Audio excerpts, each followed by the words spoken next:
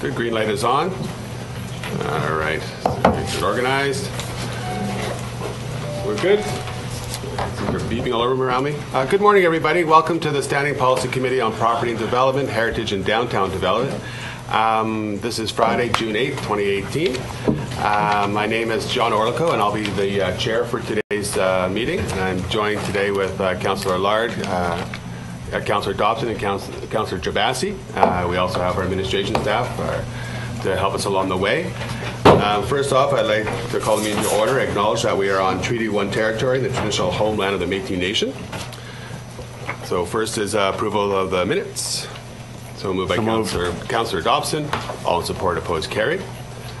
And let's see, we have, uh, should we do the agenda, should we do the um, schedule of the agenda stuff now? We have a few little items on the agenda I'd like to bring to your attention and see if we can get concurrence to move uh, a few items around. Uh, First off, I just want to announce, uh, we're going to be trying something for the next meeting. Um, As you are aware, we're having a a number of appeals uh, that come forward.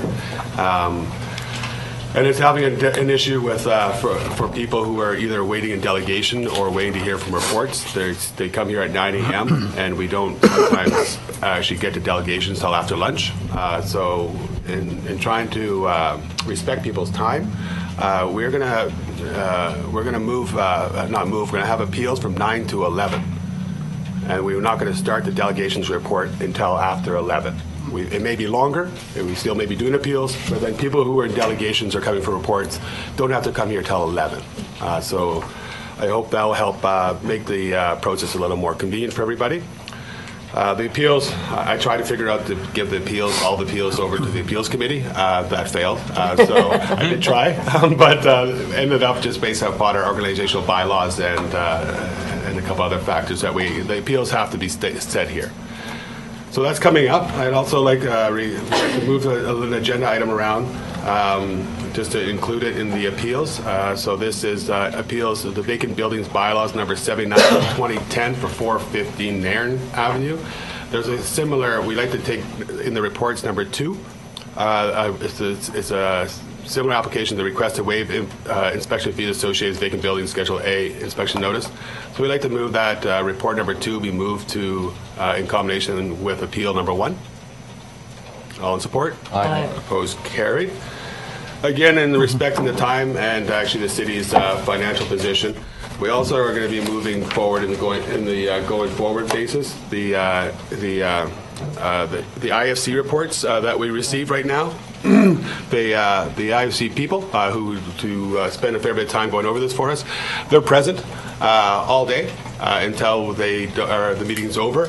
So that's uh, that's an incredible amount of uh, resources that are waiting to speak. And so what we're going to be doing today and going forward, we're going to be taking the uh, report uh, items and moving them to the beginning of the agenda. So those gentlemen uh, who are here, they can come. Uh, if we, we can have any questions about the IFC reports, we'll bundle them all together. Uh, if none, they can get they can leave a little bit earlier. If so, we uh, they'll be all in one. So I'd like to move items 7, 8, 12, 13, and 14 to the beginning of the report section. So moved. So moved by Councillor Dobson. All in support, opposed, carried. The last one we have is uh, item 21. This is a request by Councillor Lukes uh, to uh, lay this matter over uh, till our next meeting, uh, which is about a week away. Um, So, uh, all in su- support? Aye. Aye. Okay. Uh, Opposed, carried. There, that's the house cleaning part. Very. So we'll move on now, I believe, if uh, I can see uh, our clerk, Matt, trying to keep up. Um, We're good? Yes. Okay, go right ahead. I'll introduce the, uh, the appeal process for those in the gallery. Um, All persons who wish to speak or receive notice of the hearing body's decision must fill out a representation form and submit it to me as soon as possible. Copies of this form can be found at, in the front of the room at the registration table. The process the committee will follow is the appellant will be heard first, followed by those registered in support of the appeal. Next, those registered in opposition are heard, followed by those registered for information. Finally, the appellant may return to speak in rebuttal to comments made, however, no new information is permitted. Please note that when your name is called, it is your opportunity to speak, however, you are not obligated to do so. Item one is an appeal under the vacant building bylaw number 79 of 2010 for the address at 415 Nairn Avenue. as Councilor Orlikow mentioned, there was also a request to waive the, uh, the inspection fee uh, associated with the vacant building Schedule A inspection notice that was issued for the same address, uh, which is not technically an appeal, but it's the, the same matter, same address, same, uh, same appellant. So um, uh, would you like an update from the public service prior to? Yeah, please do. Okay. So this property has been vacant since uh, September 27th of 2016 uh, due to a fire, and it was referred to us from the fire department. Uh, We've had multiple communications with the, uh, with the owner, who does not reside in this province. Um, We've also, um, due to our error, in fact, had done a previous Schedule A in 2017, but did not charge the individual, so that error was to their benefit. Uh, This Schedule A inspection is consistent with the, um, with the bylaw in which we conduct inspections to ensure it's safe for not just the community, but first responders who attend. Uh, It is both a cost recovery to the city for doing so, as well as a disincentive within the bylaw to, um, to incentivize, I guess, the, the owners to either sell or reoccupy as quickly as possible. Uh, The, the, I understand that we've had multiple communications, and the uh, appellant is appealing uh, both on uh, I I guess I'll put this out there now. I understand an incorrect date in one of the orders. We have confirmed uh, with the public service that uh, that is a a non-issue legally, uh, as the later date normally applies. The order stated Tuesday, April 16th, in fact the correct date would have been Tuesday, April 17th, uh, and that does not invalidate the order. Uh, It's what I would put forward to this, uh, to this board uh, committee. Um, And I'll leave it to the appellant to any questions you, you may have. Any questions, administration, before we proceed? Not at this point. Well, we're trying to come back. All right, thank you very much. Um, In support of the appeal, I have two names. Um, Are you coming up together or separate? Not sure who's speaking. Together? Yeah, come on up here. It's easier that way. Yeah. So, by the, by the looks in your eyes, you haven't done this before? Yeah, So no problem. You'll have a seat right at the end, uh, side by side. We just, uh, so we have to record this, and that's why you need to sit down and sorry, it's at the very end. Um, uh, So we are recording it. Um, And I'll just quickly go over the, the rules. Uh, So you'll get 10 minutes. Uh, We have a little clock, I think you see it down there in front of you. Right, I So was we'll- going to ask for an extension because I have a lot of material and I'm also very ill. And I did fly in from Fort Erie all the way for this. And Okay. it is my wedding anniversary today. Congratulations to that. And one other thing, if I start to sound like I'm drunk or high, it's just because I'm very ill and I'll have to stop to take medication. Okay, take your time. Uh, Well, you do have, uh, we'll give you the 10 minutes, and we'll see where you're at by that Okay. point, and we'll go from there. Sure. Um, But yeah, it's, uh, just take your time. It's, uh, state your case clear as you can. Um, What you'll do is you'll be able to speak just to the items that were in front of us. Uh, And then what happen after that is we'll see if anybody else is here in uh, support as well, and they'll have a chance to speak. And then we'll see if there's anybody in opposition to the appeal, then they'll have a chance to speak. And then we'll probably ask administration some questions maybe. And then you have the opportunity to come back again. And when you come back, we kind of, we just want you to speak to any new information you've heard from the time you left that chair and got back again. Okay, so that's fair. And so I just need your, just start it off. The, the clock starts when you give us your name and your address for the record, and then we'll give you the 10 minutes and we'll go from there. All right? All right. All right, good. Go ahead. Okay, um, so I have to state my name. Okay, name it's and Tricia Carpenter. I live at 168 Battery Street, Fort Erie, Ontario. Welcome. So, I'd like to thank you for taking the time to listen to me. But I'm really confused about why I've been contacted by two different people at two different times about the same thing. And when I responded to the first person, they never got back to me, ever. And uh, so then the new person, Nancy, came along, and I've tried to um, explain to her that I'm tearing the property down. So she went into the place twice. I don't understand why you have to go into the place twice when, in fact, It's a one-time yearly inspection. She went in twice. I, I, I don't understand the need to go in twice. Um, so she, the second time she went in, then she gave me the order to fix things, when in fact, I told her numerous times it was going to be torn down.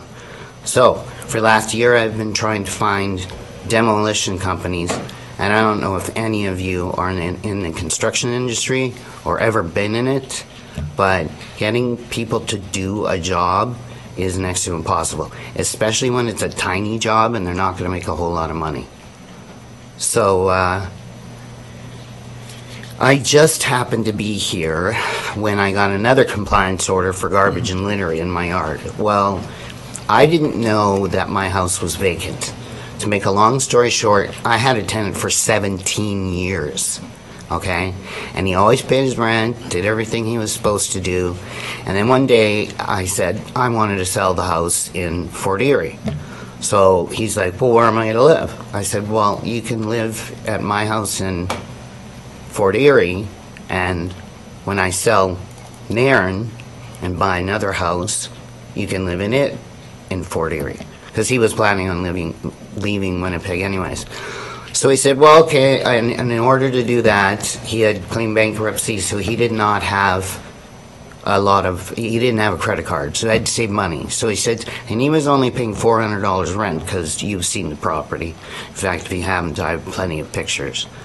Anyways, it, um, he said, okay, I have, uh, I'll move there, and, but I have to reduce the rent to 200. And I'm like, okay, fine, you know, I- I'll let you do that. That's not a problem. The house was paid for, so. Then he um, co- uh, contacted me again and said that, you know what, I'm going to take the other 200 and I'm going to fix the place up. And I'm like, great. That means I don't have to keep coming up and doing all these repairs because that's what I was doing for the last, well, I've been gone 21 years. So I've been doing that for him on and off. So, anyways, then I didn't hear anything from him because we don't really talk on a timely basis. And then the next thing I hear, I come out here and uh, I, I see the house, and a couple days later, it caught fire, and he was gone. And he left me a nasty note, and so he basically screwed me. If I'd have known that the house was in that much disrepair, I never would have let it get to that. I'm a carpenter. I've been a carpenter for 30 years. That's not just my name. So I would have came down and fixed my house up. Now it's way beyond repair. So I have no idea why someone would go in there, especially I understand that you that you're not um, construction people. But all of the stuff that you asked me to fix, even if I was going to fix it, is way too vague. And like I said, I took, what I did was she, the, it, the one paper says that there were large holes observed. I'm sure you have this compliance order in front of you. And all of the stuff, I went in yesterday and temporarily set it up because I've already contacted and had an asbestos inspector go in mm-hmm. on the last Thursday. I'm just waiting for their report for them to go in to clean the asbestos. I've hired Omar Demolition to do the demolition. So they're gonna pull the permit. I have all the paperwork here if you need to know who's doing what, when they're doing it, what they're gonna do, type of thing. So I just basically want an extension. The time frame is way too short. Like I said, for the last year, I've been trying to get a demo company, and it's impossible. And even if I was, like I said, to fix it, for someone to come in in the time frame that you guys allot is ridiculous. And I hate to use the word ridiculous, but it is. Because you're so vague in how the workmanship is to be done and what kind of um, satisfactory results are. One man's good job is another man's crap job. And to me, I like to do things perfect. And the house is just not worth fixing. It's a total teardown. I mean, the kitchen is halfway to China. It, it, it's, it doesn't even have a cement base to it. And the main part of the house is on a cement slab, and it slopes. So who in their right mind, if you've seen the pictures, would want to go in and fix it? And you've chosen not to.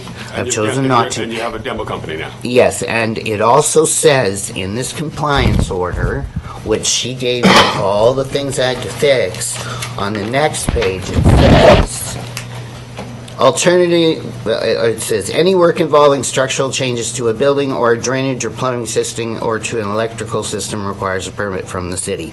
And that's the last line before it says, or Alternatively, you must obtain the necessary demolition permit and comply with the conditions set out in the demolition permit.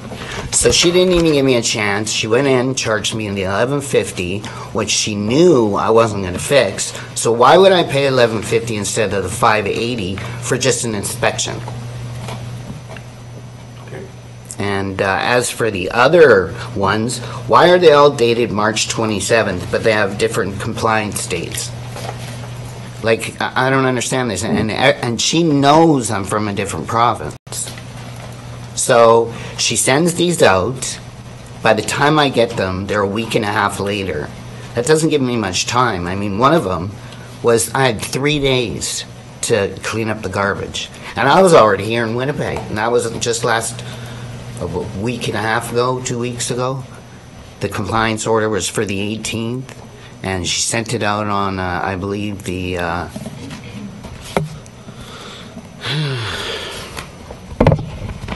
I can't remember which that one was for. I think it was the garbage one. Anyways, it, it, it's just my thing is I just want time. I've been trying to do what you guys asked since I got the first letter, and try and contact the guy's name is Cy. And I guess he no longer works here because I left numerous emails and then nothing after that. Nobody contacted me from your office. Nothing.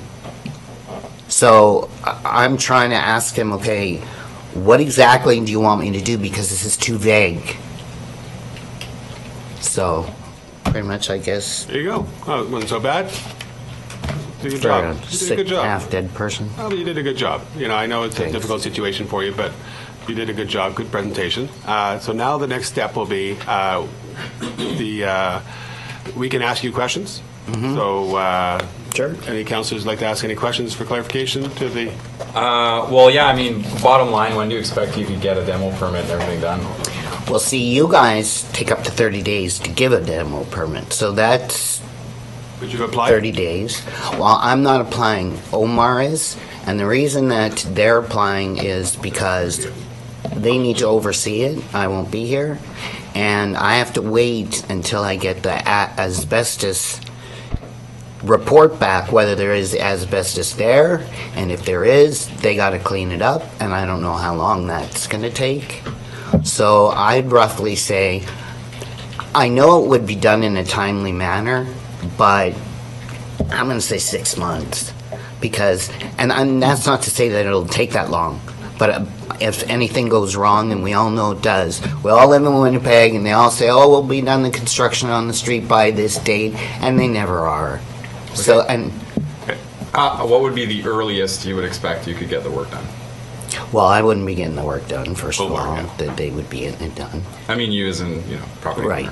Um, I, like I said, I don't know because I don't know the time frame on the, how long it takes for the asbestos to be removed. I don't know how busy Omar is.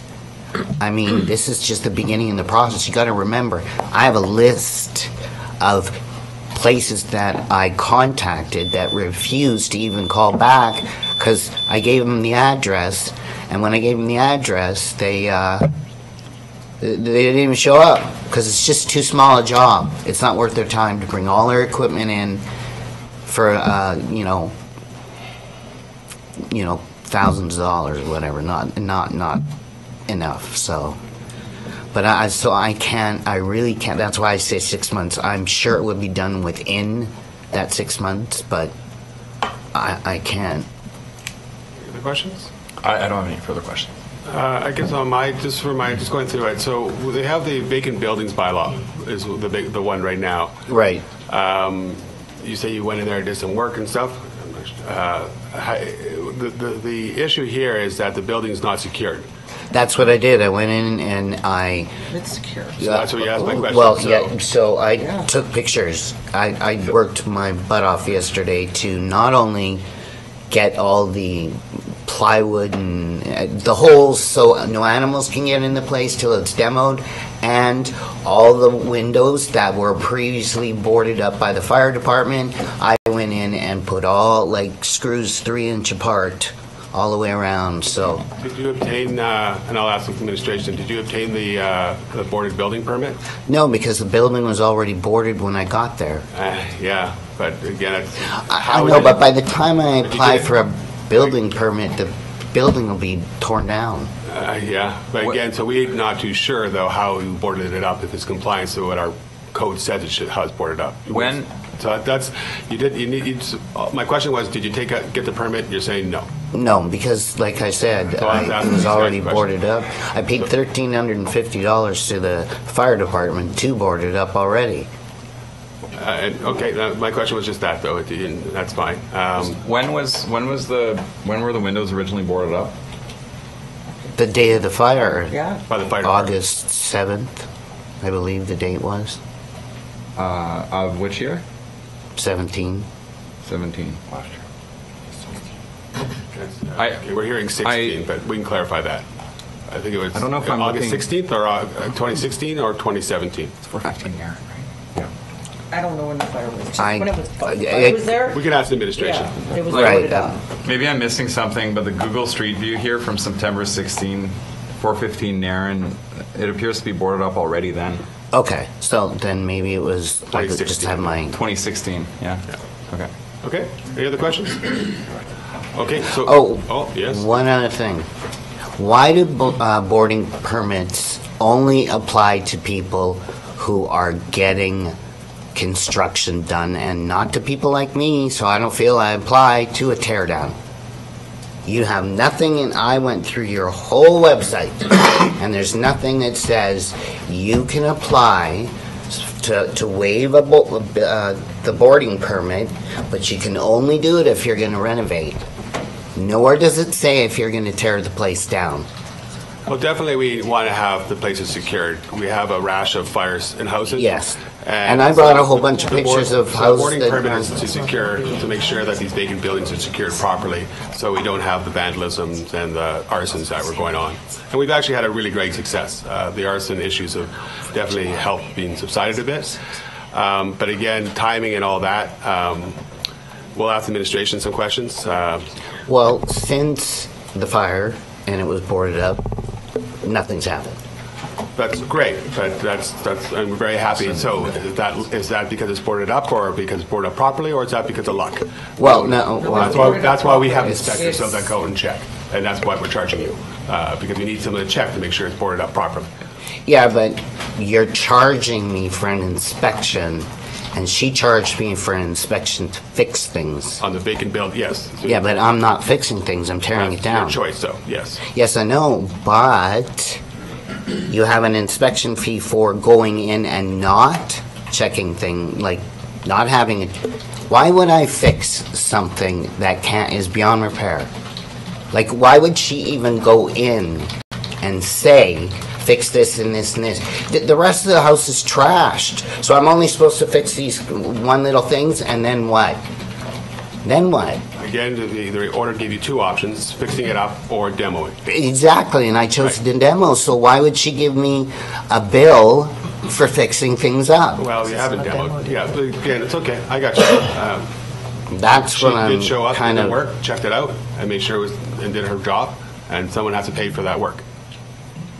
Yeah, I guess some some people might, for whatever reason, want to renovate or, or fix right? Oh. for sentimental. Like even if it were Yeah. a very very very expensive job, some people might make that choice. Right, I- but- I'm, I'm not in your position. But understand that. she knew before she went in that I was tearing it down. So Okay. I I have no idea why you would even think of giving me a, a, a, a, a it's just beyond comprehension. Did you, well, you, again, a lot of people tell us things that you didn't have a demo permit at the time, is that correct? No, I, and I still don't have one. I still couldn't, that's- the problem is, like I said, uh, you guys don't give enough time for us to do things. Made that point, yes. So, And again, this, uh, I think we will talk to the administration about that. Okay. Any questions? See none? Take a break, take a breath, have some water, uh, and then but keep your ears open uh, to whatever other comments are made now, and then you'll have an opportunity to come back. okay, All right? thank you. Great, thank you. Uh, Anybody else in support of this appeal that wishes to speak? Seeing none. Anybody in opposition to this appeal that wishes to speak? Seeing none. Anybody for information? Seeing none. Uh, You actually, could- uh, if you really want, you can actually, you're going to be back quick. Uh, Maybe.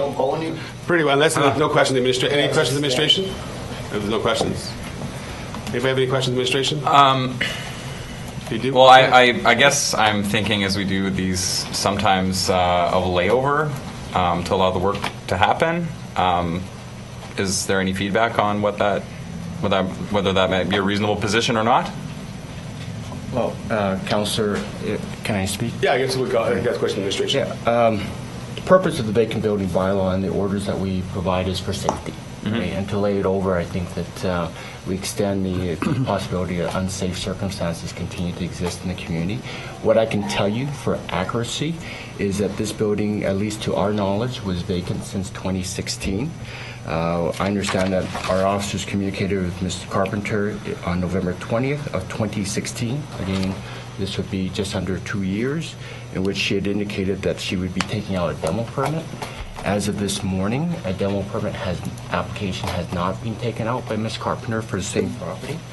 I will indicate that there are multiple orders on this property that she's referred to, one of which is out of scope. She referenced a garbage order, and that's not part of the, the orders under VB, so I won't speak to that.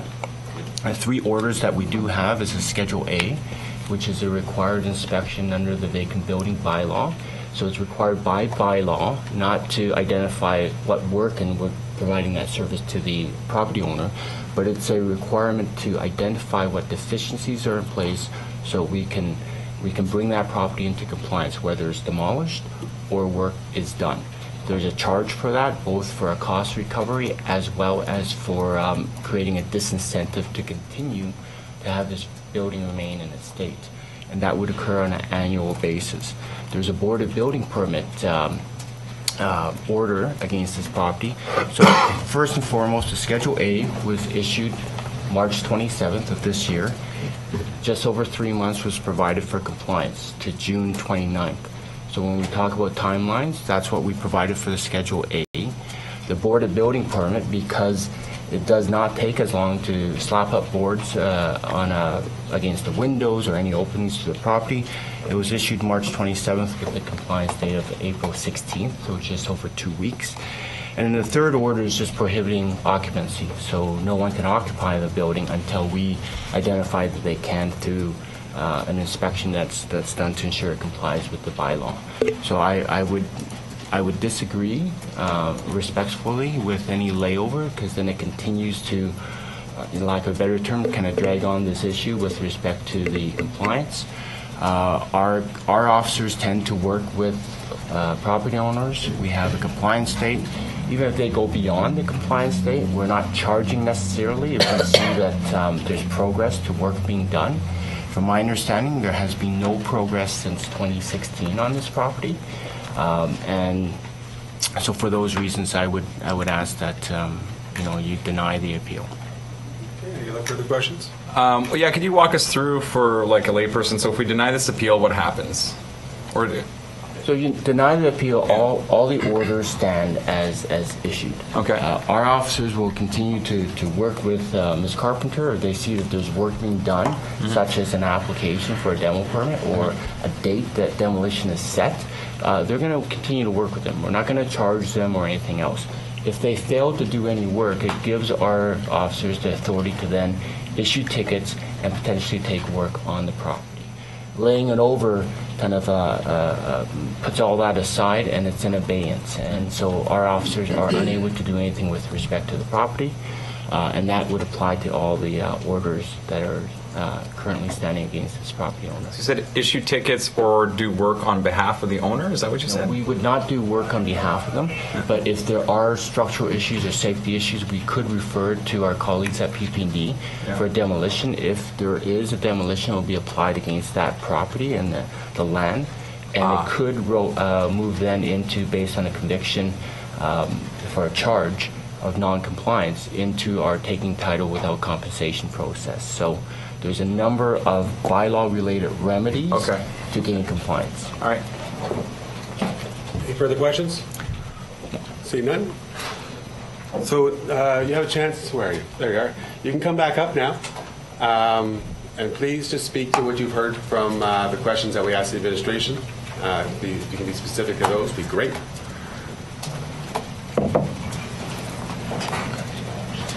First of all, I said I was trying to have this place fixed. And I have proof that I've called all those places and none of them got back to me. So you, can you explain to me how I'm supposed to force somebody to do something they don't want to do? Let me Yeah, finish. We we don't, this is not a question and answer period. Right, so I'm, I'm just saying. It's it's kind of, yeah, so ask a question. So, Yeah. and then how long after you pull a demo permit does the demolition have to be complete? How long? I, n- I need an answer You don't from get an you. answer. I I try to. Okay, well, I- it's 30 days. It's 30 Yeah, it's days. not a question and answer Okay, period. we're so just to if speak to he asked why I haven't pulled a demo permit, until I find a demolition company to pull the permit for me because I'm not here, why would I pull a permit and, and, and just hope I find a, a demolition company? And then 30 days goes by, I don't find it, nobody demos it, and then I gotta do it again, and I gotta do it again. And like I said, I have the, the letter from the guy that went in and already did the uh, asbestos test. And I'm just waiting, and if I have the paper, because you guys said if I'm gonna submit anything, to give you a copy, and I have a copy of that for you. So, with the rest of the stuff, like I said, it doesn't apply if I'm demoing it. I'm, I've secured the building to the best that I can because I'm not from here. And I did not get a boarded up building permit until this year on the 27th. So, hi- him saying that, why wasn't it boarded up, it only takes two weeks? Well, she, and he said since 2016, well, I never got that, that boarded up thing way back then, so why would I think I had to board it up? From the order that you, you have received the order though. Right, for now. I think you said But, March- but March he, 27th, I think you mentioned? That yes, correct? March 27th. That's but- the one we're talking. But, but he said she, he's, she's had since 2016 to do something. And I told you, the demo permits have to be done within 30 days of pulling them. So I didn't pull a permit because I'm not going to repeatedly pull permits for companies that aren't coming out. Nobody's demoing it. And, um, what were, what were the other things you said? Can you please repeat them for me? Because like I said, I We don't was have a ill. recorder like that, so that's why I said keep your. Well, I'm- I was- You're you're not, again, Oh. you're not- yeah, so kind of like, I'm. unfortunately, we're judges. We're trying to judge if we approve or not this appeal, so it's not really a question and answer or you engage back and forth. It's- You just have to give us your presentation and then we listen. And then we ask you questions, but that's, it really flows that. Well, the reason that I say it is because he spoke very quietly and I sat in the back of the room and I couldn't hear everything he said. Again, I really suggest you do keep your ears open, uh, sit in the front row. Sorry, it's just, uh, There were no seats in the front row. okay. Okay, So, pretty much, I, I feel it's unfair that I've tried my very best to do what you guys do. And there's lots of people that come in that don't do anything.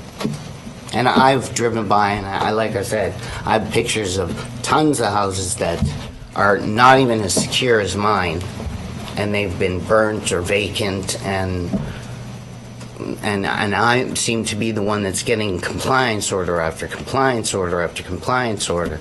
It's like somebody has it out for me. I drive by the property all the time. It's secure. And that's great. And then, Yeah. unfortunately, we don't, can't rely on your word for it. Uh, We need to rely on our, uh, that's why we want a permit, a board up permit, so we can make sure it is done the way A it's. boarded up permit is twenty-three hundred dollars. I don't have that kind of money to, to, Again, um, uh, that's, that's a. if I had that money, I, I would have been fixing the place up. All right, anything else? See none? Thank you for your time. That's it for today.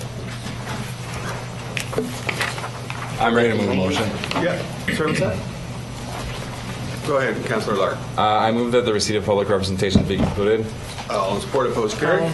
that the appeal be denied, and the boarded building compliance officers dated March 27, 18, issued by Community Bylaw Enforcement Officer, Community Services Department, be confirmed.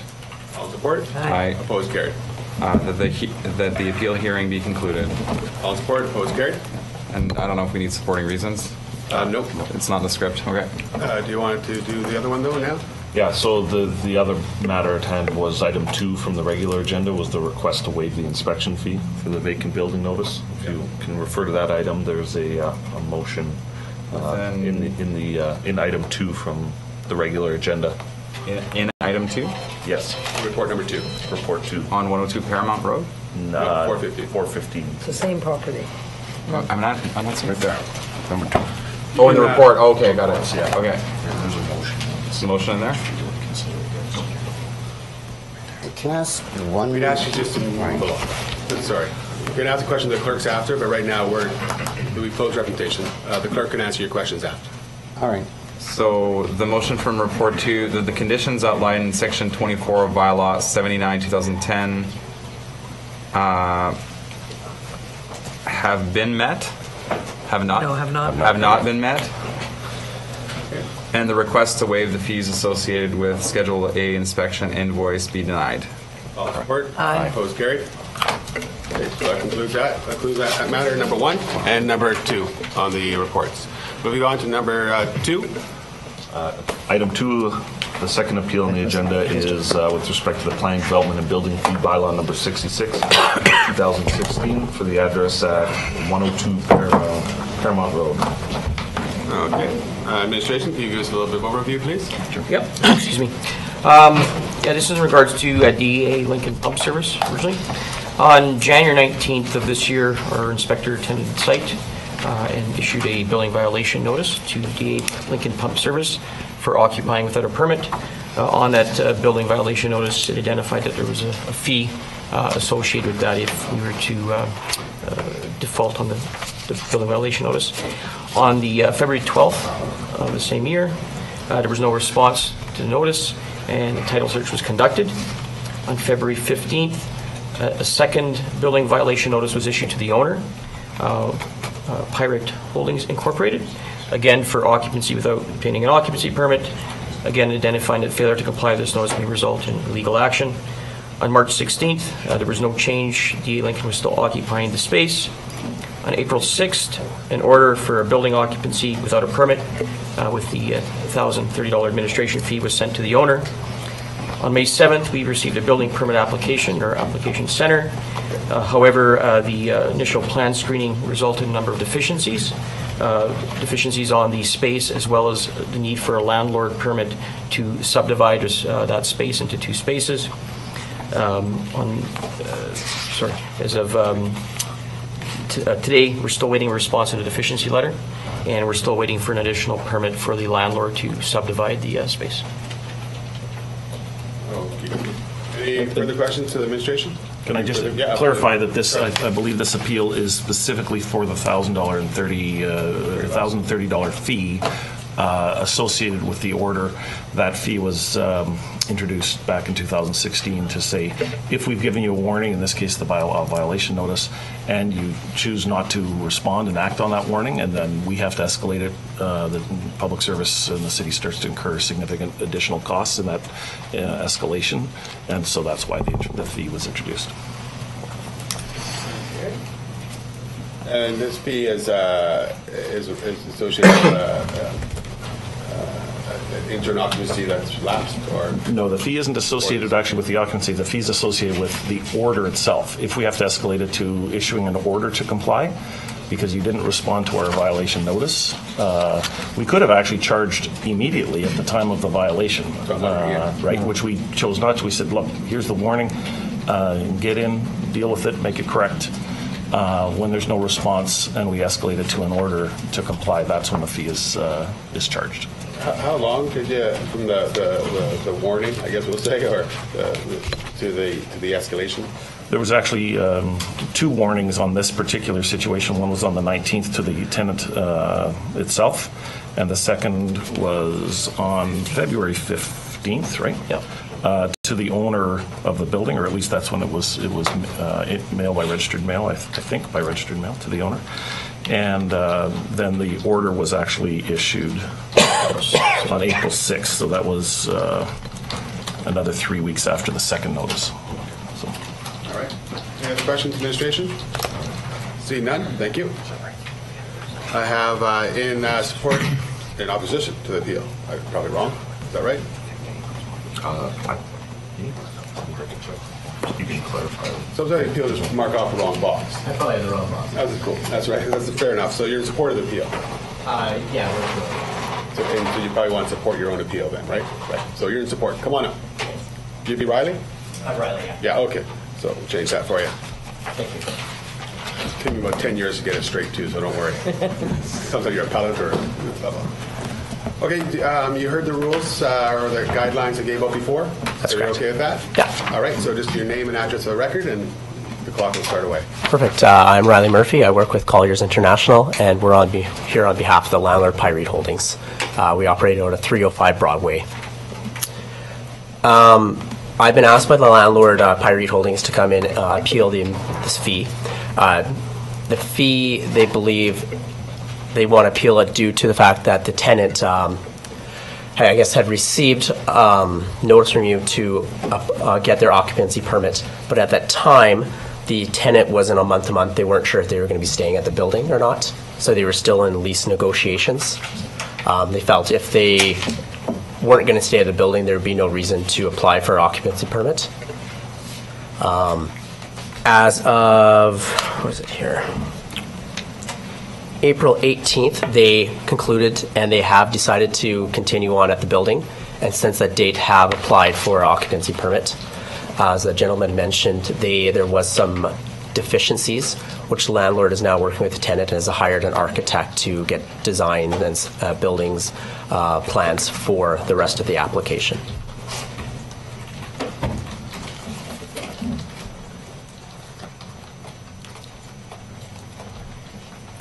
It? pretty much Okay. it, yeah. That's quick, that's good. Any other questions? Any que- other, any questions at all? Yeah, at this point?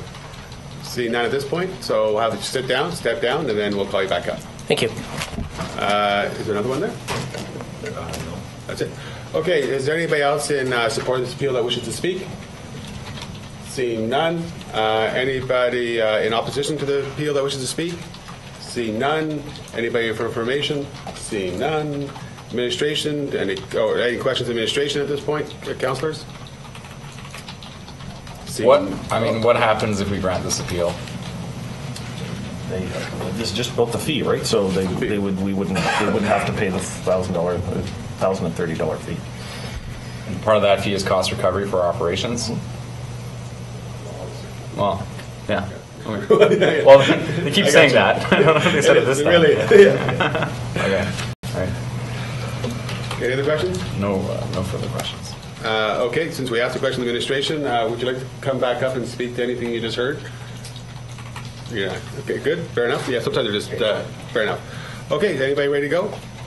I guess I can. Okay, go ahead, Councillor Gerbasi. Move that the receipt of public representations be concluded. All in support, opposed, carried. And I move that the appeal be denied and the decision of Planning, Property, and Development Department be confirmed. All in support, opposed, carried. And I move the appeal hearing be concluded. All in support, opposed, carried. Okay, thank you. That concludes uh, matter number two, appeal number two.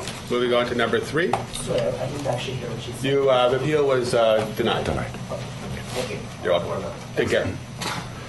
I- Item three is an appeal with respect to the planning, development, and building fee bylaw as well, number 66 of 2016, for the address at 1677 St. Mary's Road.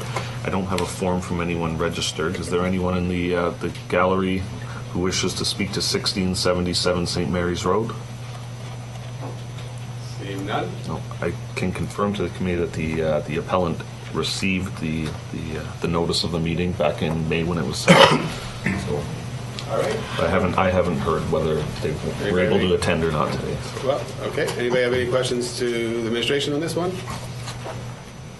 Seeing none, anybody ready for a motion?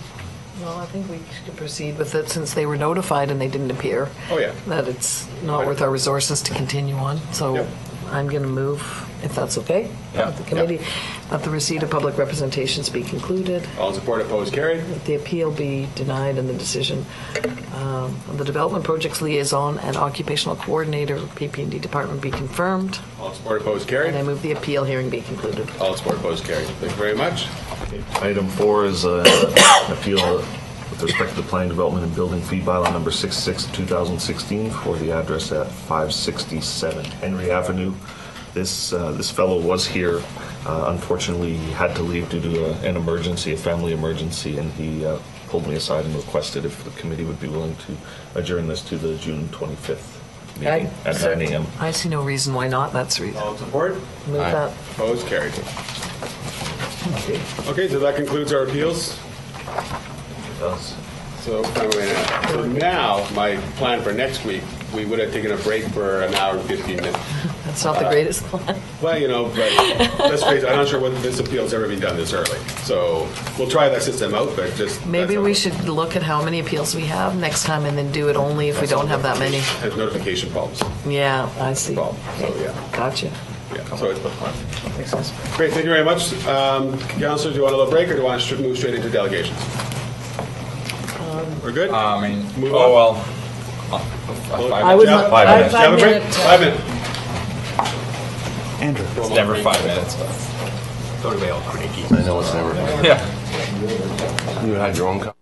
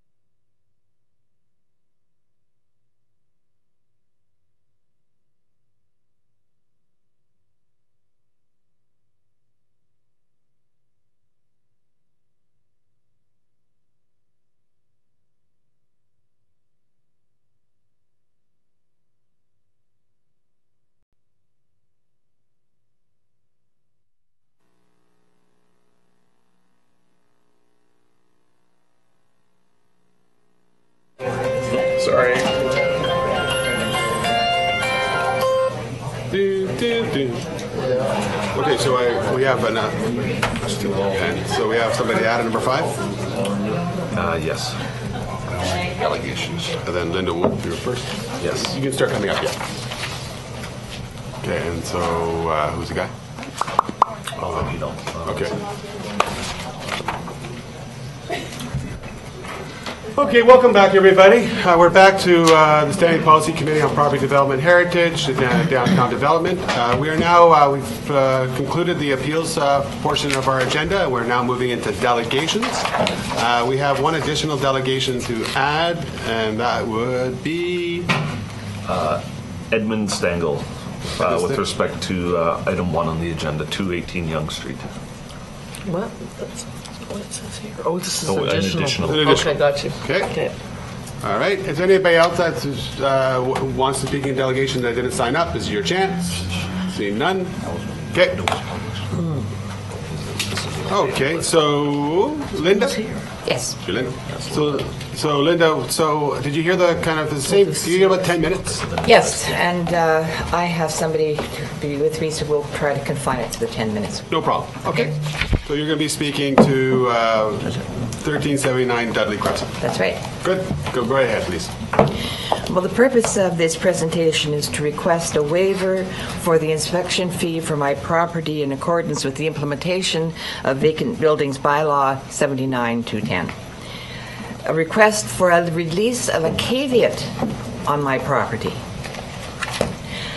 A request to ensure that I am not denied occupancy to my property when it is completely rebuilt by the end of July and to demonstrate that the application of the vacant building bylaw to my residence has been both inappropriate and punitive. The description of the property. I have a three-bedroom, single-story bungalow on a curve of Dudley Crescent, which is between Grant and Cambridge. It's a large landscaped property. We've got pride, I have pride of appearance in, in the property. The lawns and sidewalks are maintained through a service throughout the year, grass, mowing, leaves, and so on. I live there alone. I am a widow. I have no pets. The home is a gathering place for neighbors and colleagues, including the Diocese of Rupert's Land, the College of Occupational Therapists of Manitoba, my, na- my friends, my neighbors, and so on. Description of the fire. There was a fire on September the 17th at 1.30 in the afternoon. I escaped within minutes. The cause of the fire was determined by the fire department as being uh, an electrical fault in a dehumidifier in the basement. The damage was limited to the east end of the basement with burnt ceiling joists. There was water damage to the basement and extensive smoke damage throughout the house. The remaining structure of the house, according to your Schedule A of your bylaw, the exterior walls, roof, foundation, front porch were all intact. The windows, according to Schedule B, were secure and tight-fitting.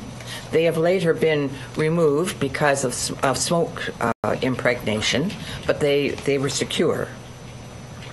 The front door and the east basement window were boarded by the City of Winnipeg. The building was not in a condition to be occupied, and I had to relocate, and I am temporary, living in a temporary residence. Events following the fire, the day after the fire, I met with the Claims Pro representative uh, representing Aviva, uh, Aviva Insurance and Belfour Property Management immediately that day began clearing out the basement of the property. I have unlimited insurance. I've had every support from this insurance company and from my adjuster. So on September 22, 24, remember the fire was on the 17th, um, there was there was the process of beginning the to identify the recoverable and non-recoverable items, and by September 29th, uh, that process had been completed, and they were gutting the building. Uh, in the meantime, I continued the contract with Tom Ann's Landscaping that the walks and lawn and all of the exterior of the, of the property would be maintained in good order throughout the time of reconstruction. Uh, and this spring, 200 bedding plants have been put into the uh, yard, and Karkanoff Nurseries is going to uh, uh, redo a, a perennial bed. The security of the building, there's a lockbox, the back door. Uh, the fire alarm system is operated by Protelec, and I've already I started negotiations with them in September to have the security system reinstalled. Implementation of the vacant building bylaw, well, you, you all know the purpose of the vacant building bylaw. September 29th, I got a letter from the city of Winnipeg that this building, which was a fire building, was now a vacant building under the vacant building inspection program. October the 4th, I sent, I had had an, a, con, a telephone conversation with Scott McDonald, and I emailed Scott McDonald um, to, to follow up with a telephone call, and by that time, the property management people had given me a copy of the bylaw. By October 5th, Scott McDonald called and he requested that I send an email to him, which I did. It included the cause of the fire, the contact information, all the information about the adjuster and the and the uh, representatives who were doing the restoration, and a statement of my intent to occupy the building as my residence, and an agreement with Scott McDonald that he would get back to me in six months. In November, there was a preliminary walkthrough with uh, my adjuster and uh, a structural engineer and a representative from Specs who is getting ready to do the bidding document. Now, there are two problems with this house. One, the damage of the fire, which was limited to the basement, but smoke damage throughout. Secondly, that the building was built in the late 50s, early 60s, so it had to come up to code. So specifically, the studs all had to be deepened, the joists had to be reinforced, and there was concern about maintaining the R factor. And I have a statement from my contractor about how that was addressed. So the bidding document was completed. The contract was issued to Winnipeg Building and Construction. Uh, on, on Jan- January 5th, I signed a document giving my, my contractor the right to uh, apply for permits, recognizing my responsibility in that process. On March the 13th, I had a walkthrough with John Cargo, who is my contractor. And at that time, all the exterior studs, upstairs and downstairs, had been deepened. The fire damaged joists had been replaced. All of the joists downstairs and upstairs had been reinforced. All of the fire damaged surfaces had been encapsulated. There was no smell of smoke. And there were two layers of either half inch or three quarter inch plywood applied to the main floor. And so uh, for, for the underfloor, and there the electrical work had begun. Then I got a registered letter from Scott McDonald dated March the 8th, and then following that, there was an email from Scott who said that he had been to the house to inspect it. The house was still down to the studs, so since no work had been done, he was requiring to inspect the property. Now, he had permission, your authorization, to explore both the external and internal of the building. He didn't. He must not have had access to the internal inside the building. He must have looked through the front living room window because that's the only window you could see the studs. And beside the window is the boarded door, which was put there by the city of Winnipeg and which I had not replaced. I'm sorry, but I don't hadn't memorized your bylaw. However, I don't think it would have failed public interest if he had reminded me at that time that I had a boarded door because it would have been replaced. Anyway, the site inspection occurred on April the 9th. Both Scott McDonald and his supervisor, Jason Chartrand, uh, appeared at my building. They, but they had their identification. There was, uh, they, they did not talk to my contractor. They had no questions. They took no notes. There was no apparent protocol to this in- inspection. What they did say at the end was that the boarded door had to be replaced and that I could probably come down, talk to a city clerk, and get a waiver. So there was no report, but there was inaccurate information about the appeal process. April 10th, so it- the the inspection occurred on- the 9th. On the 10th, I get a compliance order, Schedule C by law, and it's about reoccupancy standards. So then, the, and then, then the, the thing was that the property must be conventionally secured, requires a valid building permit, but actually what they wanted was that the door be replaced. And I was given until April 27th to replace the door. The door was replaced in two days.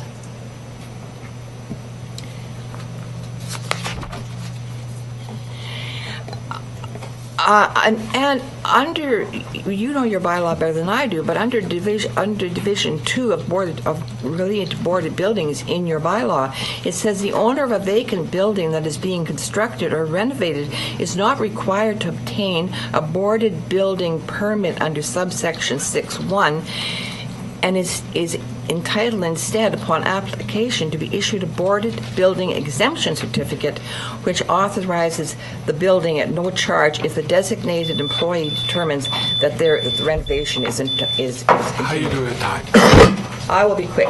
Okay, we'll move the extension. All in support, was carried. Go right ahead. Thank you. Then I get a letter by regular mail that a caveat has been applied to my property. I have to go through the process of finding out how to find out what the caveat was about. The caveat was dated April 23rd, signed by Stephanie Chan, solicitor, for failure to comply with the vacant building bylaw. And attached to it was Schedule C, which is about occupancy, which leads me to believe that I am to assume that I'm going to be denied occupancy to my home. And I would just like very quickly, first of all, uh, this is Heather Barkman. I'd like to introduce her to you, and she has something quick to say. Hello, I live next door to Linda at 1383 Dudley Crescent. I work from home, so I've had the opportunity to witness the proactive approach of Linda's restoration team. Immediately following the fire in September, there's been constant attention to the structural integrity of the dwelling, as well as extensive improvements to bring the residents to compliance with current code requirements. Throughout the entire process, walks have remained clear of ice and snow, the grounds have been meticulously maintained, and Linda's home, in spite of this setback, visually remains the ideal of our neighborhood. I have 25 years of experience in the building industry, a degree in architecture, and am well-versed in the National Building Code as well as city bylaws. I believe that the construction team has done everything possible to complete the work within schedule. Uh, The document from John Cargill begins to whom it may concern that Winnipeg Building has been involved in the restoration project for Linda Wolf, 1379 Dudley, for some months now, and that we, that they, they became the contractor, and it was reported to us that the residents had suffered from a fire. We have been in- provided a specification of repairs and so on. They got the contract. Once awarded the job, we attended again with the adjuster and engineer before applying for a building permit. We had to wait for a revised engineer's report before applying for a permit. The building permit was applied for shortly thereafter. We did therefore a building permit and work started. There has been a delay in the start of work between the tender process, waiting for the building permit, and commencing work. Work to the home began January. From the day the work began, we have continued working in the home to get it back to pre-loss condition. To date, we have completed further demolition, sealed the framing for odor, and completed substantial structural repairs. We have also completed mechanical, plumbing, and electrical rough-in. All insulation and vapor barrier work is done. We have hung all the drywall, are in the process of finishing the drywall. We'll be ready for painting within the next two weeks, and during this time, we have complied with all necessary city inspections, completing the work to their satisfaction. During the rough stage, we were contacted by Linda. She told us she had been contacted by a bylaw officer, and there were concerns that her property was not complying for city bylaws. She asked if I had heard this. I explained to Linda that in the 14 years I've been working in the restoration business and the hundreds of jobs I've done, I have never run into this. I offered to speak the, to the bylaw officer and explain this was a construction restoration project and that the home would be put back together in better condition than before the fire. The home would soon be code compliant to today's standards. I had made a couple of attempts to talk to the bylaw officer who contacted Linda. My phone calls and emails have not been replied to. I went to the bylaw office to speak to the officer, but was unable to do. I was unable to make an appointment with the bylaw. I was able to make an appointment with the bylaw supervisor. In my meeting with the supervisor, I explained that Linda, her insurance company, and the Winnipeg and Winnipeg building were doing everything in our powers to get Linda's home back to the original condition. The rules and regulations were explained to me, and he was told that's to that. It is my understanding that Linda conversed further with the bylaw office, the meeting officer, and a meeting was set up for the original bylaw officer to attend at his supervi- with his supervisor to review the residence.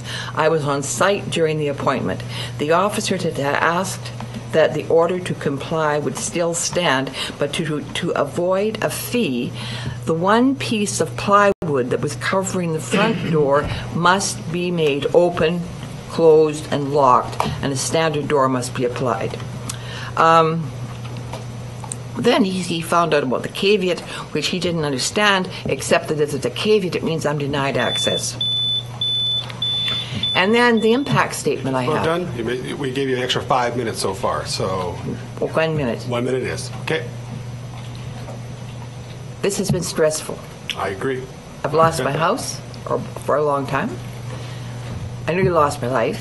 I've done everything I can to apply, to, to, to go to meet the requirements of the bylaw.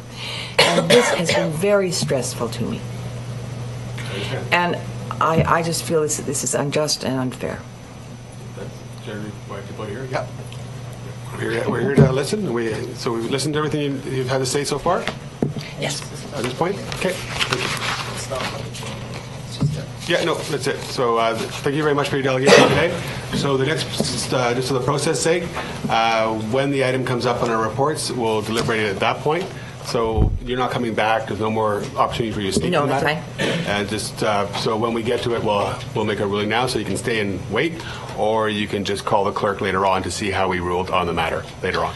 I thank you for your attention and I'll find out how you ruled. Thank you. Thank you. Okay, moving on our delegation list, uh, Cindy Tugwell, Executive Director, Winnipeg, uh, Heritage Winnipeg, to be heard on the nomination of the Trinity Baptist Church, uh, 549 Gertrude Avenue.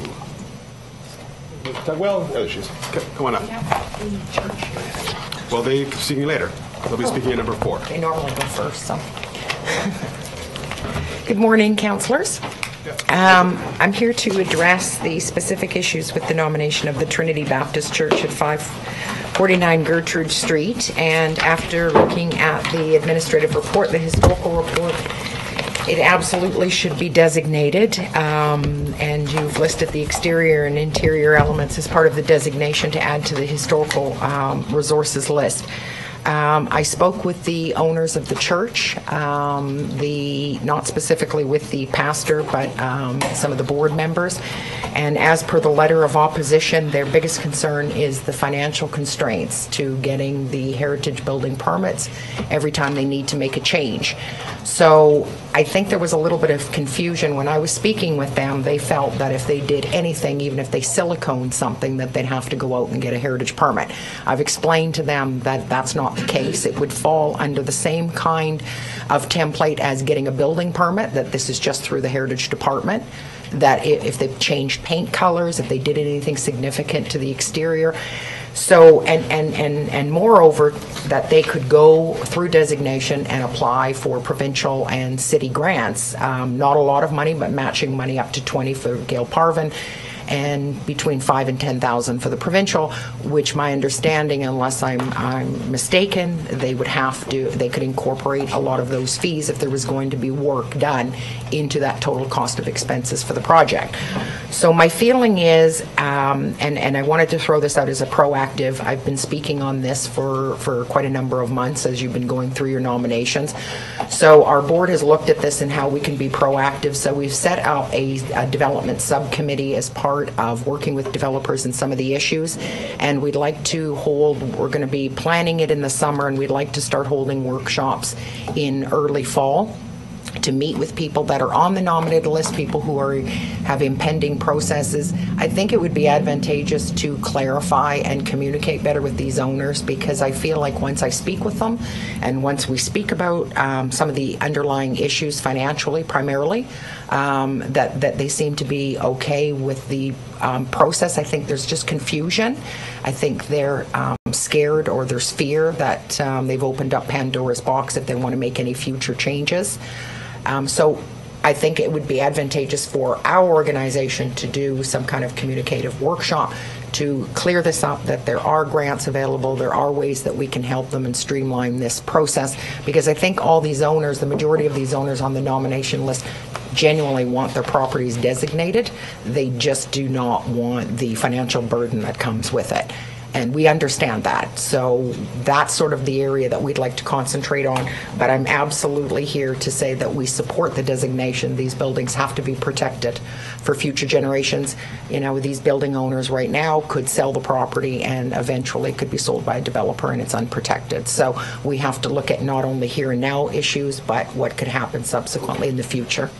So, but to our point today is you're supporting the nomination of this uh, building. Correct, but I just would be, I, the reason why I brought up the other issue, because I'm speaking first, is to be able to address that primarily it's the financial concerns of the church, of why they do not Okay, we'll let want. the church speak for themselves. Yep, okay. Um, And just to clarify, it's how you register is how you get on the list. So we don't purposely put the applicant first uh, on our delegation list. Oh, It's- okay. It's straight on how you register. And so it's just, that's. It's just been very rare, so. You probably register late all the time. Okay, So, enough. any other, que- but any questions? Yeah, just thanks, Cindy, and I appreciate your comments. Um, In terms of trying to, doing additional education and stuff, that would be appreciated. I hope you're going to be working closely with our heritage uh, Absolutely. folks, because they do also Yeah. do make a lot of efforts and are very open to working with the owners and try to relay the information very well. And I think they, it's sometimes it takes two people to, you know, understand the message that's trying to get out. Sure, we can always do better and we can always do more. So I appreciate that. I just hope you're, I assume you're going to be working closely with the department in terms of developing how the workshop would go, because they have a lot of expertise too in explaining those things as well. I And I just absolutely want to make sure everything's Yeah. done.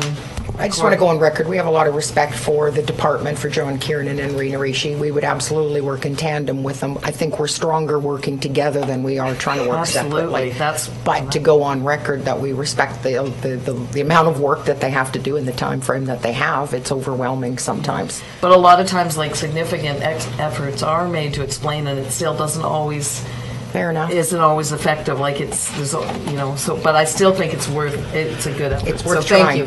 Yeah, exactly. Thank you. Fair enough. Any other questions? See none? Thank you as always, Cindy. Thank you. Number three. Yes, that's me. You, What he's trying to say is it's good to see you. Welcome, Ca- former Councilor Steves. It's always a pleasure. reputation precedes me. You you have to be nice to me now. We do now, yeah. absolutely. Yeah, one minute. Weren't we, weren't we always nice? to You you? were, you were, you were, you were. Okay, well, let- back, back to the matter of business. Uh, welcome. Um, I don't think I explained the rules for you, um, but again, just your name, address for the record, and off you go. Yeah, sure. I'm Gord Steves. Uh, I'm uh, counsel for, uh, I guess technically in this case, a company called Mamaz, which is the owner of the property, which is subject of report number 16 in your agenda today. I guess the lands are loosely described as uh, in their relation to another property west, directly west of 100 Villa Maria Place. Um, My address is uh, uh, 600 St. Anne's Road, uh, Suite 2. Uh, Mr. Yayapur is the uh, sole controlling shareholder of the uh, owner corporation of the property. Uh, The property, and he joins me to my left, the, uh, the property was uh, acquired at some point in the last year, and then there was a community committee process that went ahead. I was not part of the acquisition of the property process. I was not part of the community committee process. Uh, I've only met Mr. Yayapur in the relatively recent past, and I'm attempting to assist him. The, uh, the purpose of our appearance today is very, very simple. We'll be very, very brief. Um, We're appearing in support of the, uh, of the recommendation uh, from the uh, Riel Community Committee, which was made, I believe, in April uh, for first appearance at this committee in May, uh, which was put over then to, uh, to this, uh, this meeting today. Uh, Just, I believe, for the purpose of getting additional information from, um, from the Parks Department. I believe that'll be in the form of Mr. Domke. I'm not certain, though. Um, The, uh, whatever the, the committee decides in its wisdom is going to be uh, the direction that's going to be taken, obviously. But um, this is a, a piece of property that Mr. Yayapur is obviously going to be going through a process uh, over the course of the next period of time with the city of Winnipeg. I guess maybe one of the advantages I might have as opposed to other delegations that uh, that appear before you is I have a I have a sense of, of who the folks might be um, who Mr. Yayapur will be meeting with uh, if uh, the committee passed the recommendation. And uh, I have a great deal of confidence in those folks, and uh, I'd like to, uh, I, I want to get Mr. Yayapur involved in a process with the city of Winnipeg, because inevitably, that's where this land is going to wind up, in a process with the city, working uh, in some form, whatever, whether it's the direct recommendation uh, taken today or a different direction entirely. Uh, We want to uh, open up that, that communication and that process, and I see this recommendation today being as uh, as good as as any other uh, in terms of opening up that process. And again, uh, obviously, the way the recommendation reads, we we recognize completely it's non-obligatory. It's uh, it's certainly not nailing down anybody to any position, but we think it's uh, it's a step forward and will be, will be a positive step forward for uh, for Mr. Yayapur, who hasn't uh, been in our community all that long, uh, and is certainly not uh, a developer who's been around the scene for, for very very long, but a, but a good person and a person who's bona fide with great intentions, and who wants to who looks forward to continuing to be a contributing and active member of our community uh, in uh, in the very most uh, most positive way. So with that, we'll simply uh, put our support behind the recommendation number 16 in hopes that the committee will will take our our request into, consideration when the the time comes on the agenda to consider it. Any questions? Seeing none? Thank you for your Thank you time. very much. Mr. Chair, if I may, I, uh, before my departure, I want to wish three members of the committee all the very best this fall, and to the one member of the committee who I understand will not be going forward, my past colleague, my current friend, I wish you all the best. Thank you. Thank you. Are you- Are you announcing your intention to run? There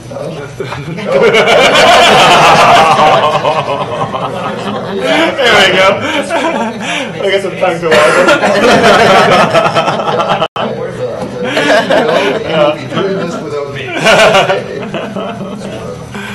Thank you very much. Okay, moving on. Um, uh, We have number four. Uh, uh, Jonathan, are you here?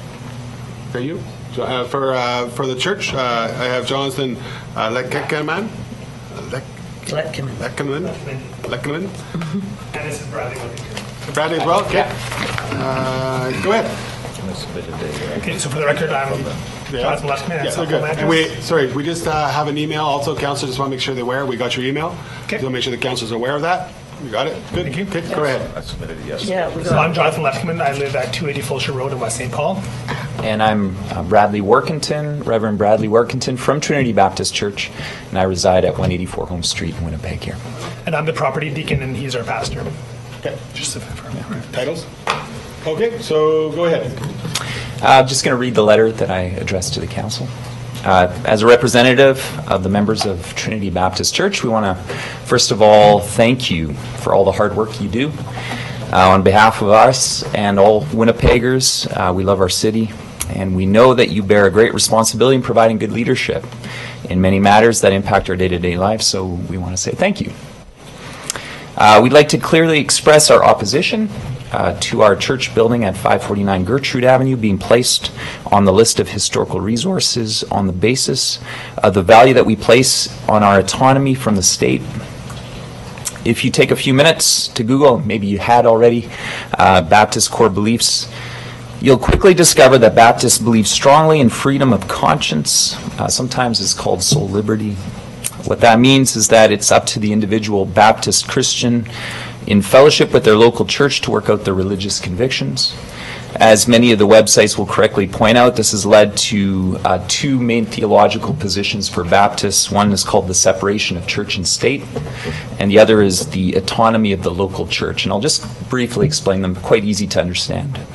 Um, separation of church and state means that we must remain free to make our own decisions um, without interference from the state or any lawmakers in regards to all aspect of faith and doctrine, including how we assemble and worship as a local church. The autonomy of the local church simply means that we see each church free and autonomous to make decisions without interference of any denominational hierarchy or leaders outside the local congregation. So, what does this have to do with being placed on the list of historical resources? I think that's a big question. The congregation at Trinity Baptist Winnipeg believes that if the City of Winnipeg, and more specifically if the Historical Planning, Property and Development Department has the power to veto decisions which we can make regarding the space we use for worship, that there's a high probability that at some future point, uh, we will experience state interference in decisions we believe we need to remain free to make. For example, if our congregation believed that changes to our church building, of course, made according to building codes and safety regulations, uh, would be necessary to meet our core mandate of reaching our community, uh, we would view restrictions from the state based on things like aesthetic and historical criteria as a potential violation of our religious rights and freedoms. Um, our building is beautiful. Um, it was made by uh, we're the, the, original congregation in our building. Uh, we treasure the historic nature of our building. We have no intentions um, to, uh, to change that. However, we really believe that we need to remain um, uh, free and autonomous to make decisions about our building, our worship space, in accordance with our long held Baptist beliefs. Uh, we ask that you just continue to respect our right as a local congregation to make decisions about our building according to those beliefs, including decisions concerning aesthetic and historical nature of our building. Thank you. Any questions? See, no? Thank you. Oh, yeah, yeah, no? Well, it's it's fascinating. It's a fascinating argument, but I, I just I'm not really sure I have a question. I hear your argument. Yeah. And it's interesting. Yeah. It's not one we come across in my 20 years here. Yeah. A, yeah. Well, I have some thoughts on it. Yeah. Thank you. For We'd love to hear your thoughts, and uh, we, we do believe in the goodwill of the city and uh, the historical. This is not a questioning of the goodwill. Uh, we just can't predict um, who will serve 50 years down the road with these rules being in place, and so we we uh, we're concerned that we remain in control of the decision making regarding our worship space. And to be clear, we love our building and we don't have any intention of doing anything with it. So that's never been our intention. Yeah. So it's a part of the community, part of, it's been there for 100 and, 1908, I believe is when the existing structure was built. So it's been there forever, right? So it's, it's part of our, the heritage of the city and our congregation, right? So we respect that. Okay. Seeing no more questions, thank you very much, Peter. Thank you. Thank you.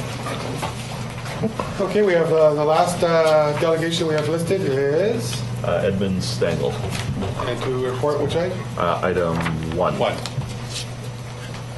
Oh, there it is. Yeah, come on up, sir.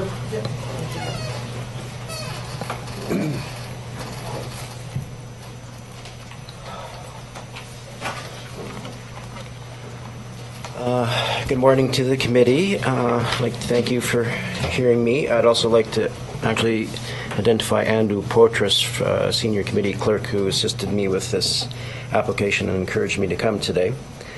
Um, I'm requesting to waive the inspection fee associated with the vacant building at 218 Young Street. Um, This building is no longer in my possession.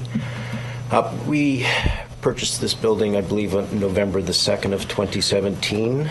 Um, My wife and I are sort of handy people, and we're looking to supplement our income. We, uh, this, this particular property was in a fire, I believe, in July of 2017. Uh, It was owned by a person in Vancouver, had it as a rental property.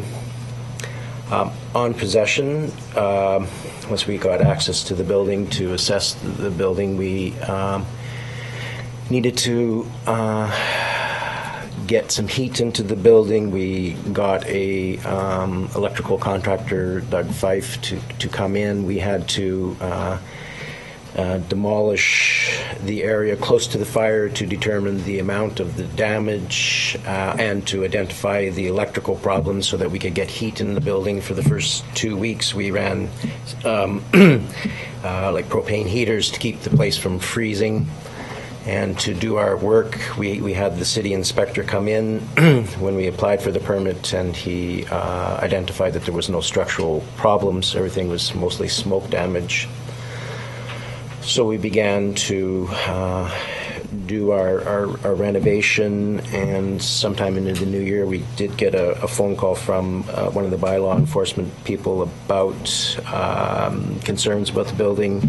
It had uh, been boarded up after the fire, and um, we had ordered some new windows through um, a company who then sourced out the windows to get them built.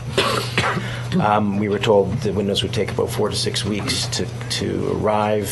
Um, after waiting about four weeks, we inquired about the windows and getting sort of a vague response of, well, they're coming, they're coming. It took, it took actually three months to, to get our windows. Um, the um, problem seemed to be an argument between the people we bought the windows from and the manufacturers, and also the manufacturers changed their site of where they were building windows that uh, increased the amount of time. Uh, During the wait, though, we did uh, uh, refurbish the building. We were able to um, renovate it, and um, we're- we completed it. We, we've, uh, we have since sold the building. It was just, uh, new owners moved in on May the 30th. So I guess we felt we did our, our work in, in a pretty reasonable amount of time. What, what I guess I don't know is whether the previous owner who had uh, the fire on his watch and up until November, whether he actually had been served any of these uh, fees. I, I don't know that. Um, but I think uh, we would like to be considered to have the fee waived. Um, my wife and I are nearing retirement, actually retire next next week, and we were finding this important quite a bit. Um, and I guess that's about all I can Thank you very much. Yeah. Okay, any questions? Seeing none? Thank you for your time. Appreciate it. Done. So I, I phoned Now somebody? you find out how we decide later on. Okay. Or you can either leave now, give Andrew a call, or look it on TV, or we actually have uh, we on the website. If you go to the city council website, you'll be able to find this uh, whole meeting recorded. But or you can just stick around either way. Okay, seeing no more delegations. no more. So no more. Actually, None he's, to for- do. he's up right now. That's the first No, one. remember we changed the agenda. Oh, we changed the order. You're right. Sorry. Yeah. So let me get the layout. So where did I? Where am I? Good. Okay, so councilors, um, we, I'm stuck. Got computer stuck problems. Number seven. We're starting. Okay, so we're gonna start on number, there we are. So we're gonna start on number seven, which is, uh, a nice segue in. An encroachment agreement for lands located at the west side of uh, Sahai Street. Seven. Do we have any questions for the administration on this one, or for the, uh, uh, the IFC commissioner? I got a double word, but whatever. See no, no questions, I'm fine with this one, all in support? Aye. Opposed, carried. Number eight, encroachment agreement, west side of Brookside Boulevard, Inkster Boulevard. Any questions? Seeing none. Any questions for the uh, IFC? Seeing none. All support, opposed, carried. Moved by Councillor Allard. Sorry. Uh, Number 12, another lease agreement, Norwest uh, Community uh, Health Center. Uh, Seems to be pretty good, this one. Move it. Moved by Councillor Gerbasi. Any questions, comments? Seeing none. Any question, comments, IFC? Seeing none. All support, opposed, carried. Moving on to number 13. Uh, Wild Honey Children's Center, Inc. Any questions on this one? No? Anything we need to know about? No. Uh, All in support? Opposed? Carried. Uh, Moved by Councillor uh, Dobson. Sorry. Sorry do that. And number 14, Lisa Munroe Library. Uh, Moved by Councillor Allard. Any questions? Any questions, IFC? See none. Thank you for your time, everybody. So moved. That's it for the, that group. Thank you for coming. That's saved us. Saved us some hundred dollars. That's good thinking. That's easy from cash. Okay. Should have made them wait. They don't mind, they're getting paid. Now we're back to item Number one. one with the 218 Young Street, and I see Winston coming back. Um, Mr. Chairperson, I'd like to hear from the administration on this one, just to get a sense of, like, the issue is the fee. Um, ha- I guess I'm just trying to confirm, have they done everything they've been asked to do? Um, If you can make some comments on the fee and Right, so whether you the think fee it's... that they were charged were for the Schedule A inspection without any orders. That means that the building met compliance uh, within the interior. Uh, That's why there's a lesser fee. Um, The inspection occurred, uh, we were first notified in December of this property, and the inspection occurred after 90 days. Normally, our staff tend to uh, work with the, uh, with the property owners. Uh, Initially, what was stated, at least what I understand, to our officer was that they would be renting the dwelling. Uh, But as the um, arrangement for the inspection came closer, uh, one of the owners, uh, Angela, decided she did not want to rent anymore and they would be selling.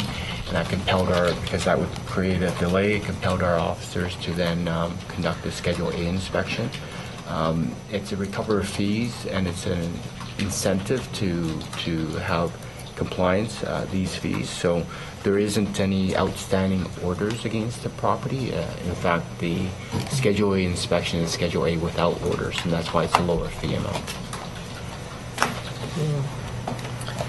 It's still cost recovery for the inspection, or? Correct, yes. Uh, Our inspector's time to, to go out there, it it is also a fiduciary requirement on their part to attend and to conduct that inspection based on the bylaw or referral from the uh, fire department.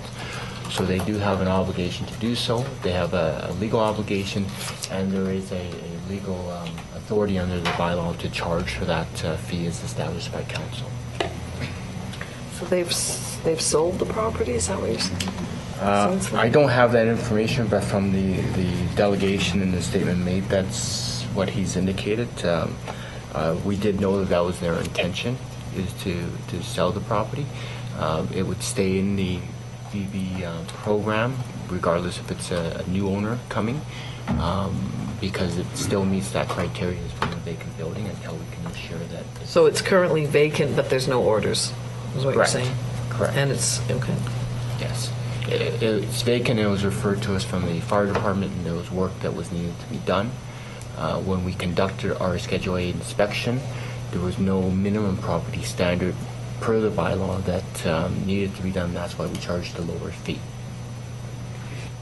Can can you see any reason for waiving the fee within, I mean, is it simply a matter of following process, or? Well, I would, I would refer you to uh, the, the bylaw in section 24, and I can, I can briefly uh, mention, it It gives criteria for, I guess, the designated committee being this one, to, to waive fees, and there's all three criteria. The all reasonable steps to ensure uh, reoccupancy is one, uh, all reasonable efforts to comply with the bylaw, and that the fee, if not reduced or waived, would have an undue financial impact uh, on the applicant, and I don't know if all three suggest that I don't believe all three would be met, uh, and it is a a cost recovery for the city. Yeah. Thanks. Okay. Any other questions? Anybody have any thoughts on this one? Any thoughts? I don't know. It's well, I'm just uh, conflicted. You know, it's tough either way. But That's why I this mean, job's tough. Yeah. I mean, we the cost recovery argument is speaking to me. I think. I mean, we have to do these these inspections, and we, there's already been discretion applied in terms of charging a lower fee. Is that correct? It's in the bylaw, so if there's, if there's uh, Schedule A inspection with orders or there's non-compliance issues, the fee is 11, I think 1180 or 1150. And if there's no issues, then it's 580. So it's the lower fee that was charged to this uh, property owner. hmm I mean, I think it, I think I'm leaning on supporting administration on this. Yeah. Me too. Yeah. You want to go for that? Yeah. All right, so moved by Councillor Allard. Yeah. Uh, uh, All in support? Aye. Opposed, carried. Okay, moving on. The request is denied. The request is denied, the request, your appeal is denied, or not the appeal, the, the request to waive fees is denied. Okay, moving on. Dealt with number two. Number two we dealt with. Number three, uh, 1379 Dudley. Uh, Again, to the administration, I have some questions on this one. I'm not sure if I want, to. I'll- let me move the chair, uh, Councillor Gerbasi or whatever. doesn't matter. Okay. That is, this is my ward. Um, Councillor Orlikow, go ahead. so I just want to ask questions. Um, I guess my question would, I- I look at the motion, and the owner of the vacant building designated committee may reduce or or waive fee imposed on the bylaw the committee determines that the applicant is taking all reasonable steps to ensure the reoccupancy of the building, blah, blah, blah. Uh, The applicant has made all reasonable efforts to comply with the bylaw, and the fee, uh, if the fee is not reduced, it'd have undue financial impact. So C, maybe, but A and B, I'm not sure. A and B to me say she's doing all the work she can. So I would be moving to waive it unless I'm hearing anything else. Well, I'm not opposed to, uh, to the waiving of the fees for this circumstance. Um, You know, I had a conversation with Ms. Wolf as well. I recognize that there was multiple items she spoke to, but the item before this committee was specifically uh, on the waiving of fees. Um, I can tell you, although uh, I'll I'll state that, you know, we, I'm not opposed to the waiving of the fee. Uh, At the same time, our staff um, recognized and looked at the timelines legally uh, for her to, to have this vacant building addressed. Uh, The initial timelines ran close to eight months, and because they're- did not see that um, the occupancy was, was uh, done, uh, the Schedule A inspection was done on their part as a matter of a legal requirement in the bylaw. So, you know, I, I think the staff acted appropriately and, and did everything that they required, but I recognize at the same time that uh, this is owner occupied. Um, You know, there, there is, it would still be under our program, as I indicated to her, that if there is no further movement, uh, that Schedule As are done on an annual basis. Um, So she recognized that, and I did indicate that the occupancy prohibition was done for a safety perspective, that when all other permits are, are approved, uh, it's actually for their benefit for occupancy. And so uh, I did ask that our staff will communicate and talk to her to alleviate her stress in that regard. thank you. Okay. So I'll be moving to, uh, Okay. to, to uh, uh, waive the fees. Okay, any discussion? Uh, All those in favor? Aye. Aye. Opposed? Carried. Back to you, John. Thank you very much. Uh, Number four? Right, yeah, we didn't do four. Uh, Development Agreement Amendment, I believe this is, this is a good one, is it? Oh, this is a nice one, yeah. This is the one with the, uh, the uh, Oh, yeah. LDR, is that correct? Yes. Yeah, it's a Right. good one. This- This is the one we should, yeah, this is, instead of keeping it within their own uh, little development, uh, they're going to move that money out into the uh, general LDR, uh, so it'll be good. uh, Which report is that? This is number four, Devel- uh, Development Agreement Amendment. Uh, There was previous decision to keep it within the ward. Uh, It was the South St. Vital joint, joint venture with the city and Qualico, and that this treats it as we would with all uh, new la- land development reserve uh, cash in lieu. Yeah, I'm ready to move this unless there's questions. No problem. So moved by Councillor Allard, all in support, opposed, carried. Uh, Extension of time, uh, any questions? on 911 King Edward Street? Seeing none, moved by Councillor Dobson, all support, opposed, carried. Extension of time, subdivision uh, 535 Ham Street, any questions? Any comments from administration required? Nope. All is moved by Councillor Gerbasi, all in support, opposed, carried. Uh, We've done this encroachment agreement, we've done, so we're number nine now. Expropriation of lands for regional street renewal program, St. James Street, Sargent Avenue to Ellis. Let's have the administration give us a quick overview on this one. And I'll ask Gord Chapel just to uh, Well, to here. take us through it. Yeah, Yeah, this is you. just a continuation of the existing uh, widenings that were completed south on, uh, uh, or on St. James Street. Uh, Most of the work has already been done uh, south of Ellis. We're looking to continue that um, from Ellis to Sargent. Uh, So we widen with uh, storage lanes, medians, allowing left turns, uh, protected left turns. Uh, So in this instance, there's three properties that require um, along the east side of St. James Street. And, uh, One of the uh, properties in particular has an existing building in the way of the roadway.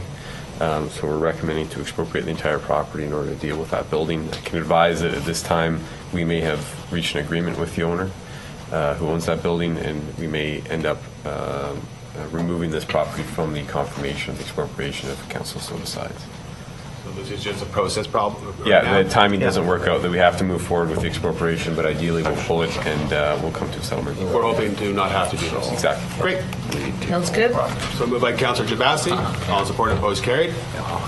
Uh, Number 10, uh, this is a lease agreement, so actually I'll have, who would speak It to this looks one? like it's just a community committee recommendation as opposed to an action. Yeah, there's a process issue. No, not really a process issue, but just a clarification, right? So Maybe you want to clarify what the actual motion here is asking, and uh, regard, we're not actually asking a waiving of fees or anything, at this- or or we're not actually approving a lease.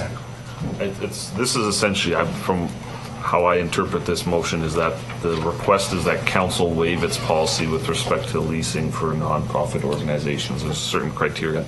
Gord could probably speak to this a little more Yes. uh, accurately. Uh, But uh, I believe this is just a request to waive that portion. And if a lease were to come forward at some point, that would still require the typical approvals. But I would defer to, uh, to Gord to. The request today is to, uh, to, uh, it's criteria six. Which is? To waive and? Uh, So uh, criteria six is Yeah, uh, right. that nonprofit groups uh, do not receive any ongoing subsidies in addition to their $1 sale or lease. So in this instance, with the North End Boxing Club, they receive a grant from uh, Community Services each year.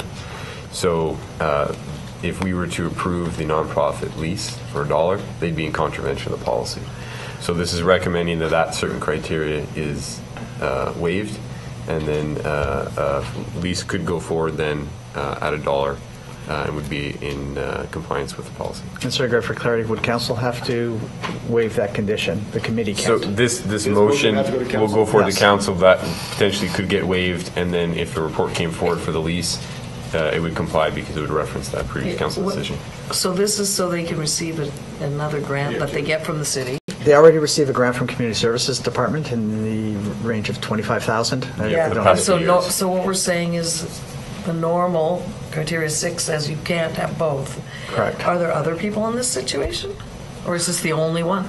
No, there, there's other people that receive, uh, that receive grants. Because doesn't it seem like it's, like I realize this one is important to these people too, but if there's a whole bunch of them in the same situation, should we not be reviewing, like whether we think people in that situation should have to be in that situation instead of just doing it for one? We need Or to- do we need to do one? all Yeah, of we them? need to report back in September regarding all the nonprofit leases to begin with. Like, couldn't we roll it into that process, that this come back and? We're going to be looking at stuff like that, yeah. Because like, I'm just, I'm just a little, I'm just wondering if it makes sense to do that, to put that together with this unless it delays things too I- I- long. Yeah, I think there's some critical timing here. with They have that some group. lease expire, uh, some of, their Yeah. current leases are expiring. Um, And, and sorry, Counselor, and, and the other situations that we've dealt with at this committee more recently have been the request to waive the operating costs associated, when you get a $1 uh, lease, the operating costs, a couple of uh, stakeholder groups have come and asked that those also be in- uh, taken care of. In this case, Pan Am Boxing takes care of heat, light, uh, you know, all of those components. So this just enables them to get the grant we're already giving them. It seems, be- like, does the administration have any concerns about this motion? Well, this, this isn't about the grant, the grant's dealt with internally. This is strictly just about the potential lease to occupy that What's- building. Because we're not, you're not approving a grant or anything, that, that's a separate process. But it's saying that this would allow you to go ahead and do the lease, For the given lease. the fact we know they get a grant, but that would stand in the way of 2018 proceeding with the lease. Yeah, correct. In this case, so if Would- you're comfortable with this motion as a Would- staff, like, like, if, sorry, if I Yeah. could just, Mike, what I'm trying to understand is that, like, it- you know, when you get a community committee motion, sometimes it's out of context with the larger policy. I just want to be sure, like, this isn't opening a can of worms or anything, it makes sense to do it in this case, or, or are you confident about that, or do you have I think they actually concerns? That's that. what I'm trying to get Unless They at. actually say that, yeah. Yeah, we, we, That- Maybe that, yeah, uh, maybe that's a political question. I, I think Yeah. this is strictly a real estate Okay. issue of, it, it, the grant's sort of not our business, and they don't comply with our policy, so that's all we're seeking to do here. That's what allow you're them to stay focusing in the building. Yeah. We, Yeah. we're, we're looking at being able to waive this to l- allow So them they to can keep stay in the the building. operation. Yeah, I think, The other aspect will come full circle in when they apply for a grant. Yeah. Is, oh, you're getting a building, You may not be notional right. value of thir- twenty to thirty thousand dollars a year. Do you really need the grant? So they're, de- they're separate things we can deal with Yeah. separately. Okay. And I'd prefer to treat them like that. Yeah, That's- that makes sense. yeah. I understand. Thank you. Will they, I've got, I've got a bunch of these Yeah. dollar leases. Um, Or has, has, I know there's sometimes the dollar leases, they pay property taxes, sometimes they don't. Sometimes they pay the maintenance fees, sometimes they don't, I we're, think. we're moving towards, and are almost there, of all nonprofit tenants, yeah, all paying. all Paying costs taxes? recovered. Yeah, in some situations, they're exempt from property taxes. That's, that's a sort of a different issue, that there's a bylaw for that. But in Okay. terms of other operating costs, utilities and such, maintenance, um, we're moving towards them paying all those costs. And again, that'll be referenced in the September report to uh, this committee. And, and the committee will also uh, start to see on a regular basis the value of the $1 lease. And so that we're, we're attaching notional figures to that of what the value is for the $1, uh, what council or, or um, the community is subsidizing the ability to use that, that facility. Um, In essence, we, we have reduced, or I do give kudos to, to real estate, down from um, a large number of $1 leases that paid no expenses to, if you get, receive a $1 um, opportunity to use a, a public, uh, public building, publicly owned building, that you assume some of those costs. So and they, so they will be responsible for cost recovery for, like, the administration as part of the dollar lease?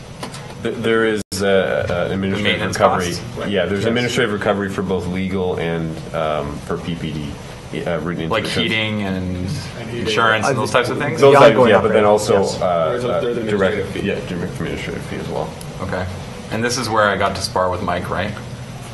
This is the same Uh, site? Yes, that's, you Yeah. can do that there. Oh, no, this, oh, this is the same site, the community center site? The Yeah, it's a great, it's a great site. Boxing club. Oh, is that, oh, so it's not the, it's not the Pan Am Boxing Club downtown, or an No. exchange? This is the one? No, it's the new one, the- like the The little satellite one one there. On college. I mean, I can. I, I mean, Yeah, I that's can recognize the work that this group does and You the, won, didn't you? did I win? It was tied. It was Oh, tied. yeah, Fair enough. But uh, I mean, I can recognize the work that they do in terms of community building, engagement with youth, and I can really see the value here. So, I, I think I think I'm ready to support uh, this motion. Uh, okay, all in support? Aye. Opposed, carried. Thank you. Uh, lease agreement, uh, Ross House Museum. So Same thing, right? Identical situation. Okay, good. Okay, moved by Councilor. Well, I don't know about this one. I'm just This has been a tip, this has been a tricky one. This has been a Trying to tricky keep one. this museum going, so. Well, and and this is a good news story too. Yeah, it's That- very That's good one news of those. It's it's come to a resolution, but it does um, when we revisit the grants applications being made through through clerk's uh, process, we will be marrying these up as we go forward That's right. to uh, to ensure consistency. Yeah. So Okay, moved. so moved by Councilor uh, Gerbasi, all in support, opposed, carried. Moving on to item number 15, is that correct? North uh, District Police Station. Uh, Administration want to give us a quick overview? Certainly, I'll be joined by uh, Brent Panuta for All right. uh, this one. Come on up, Rick, get up.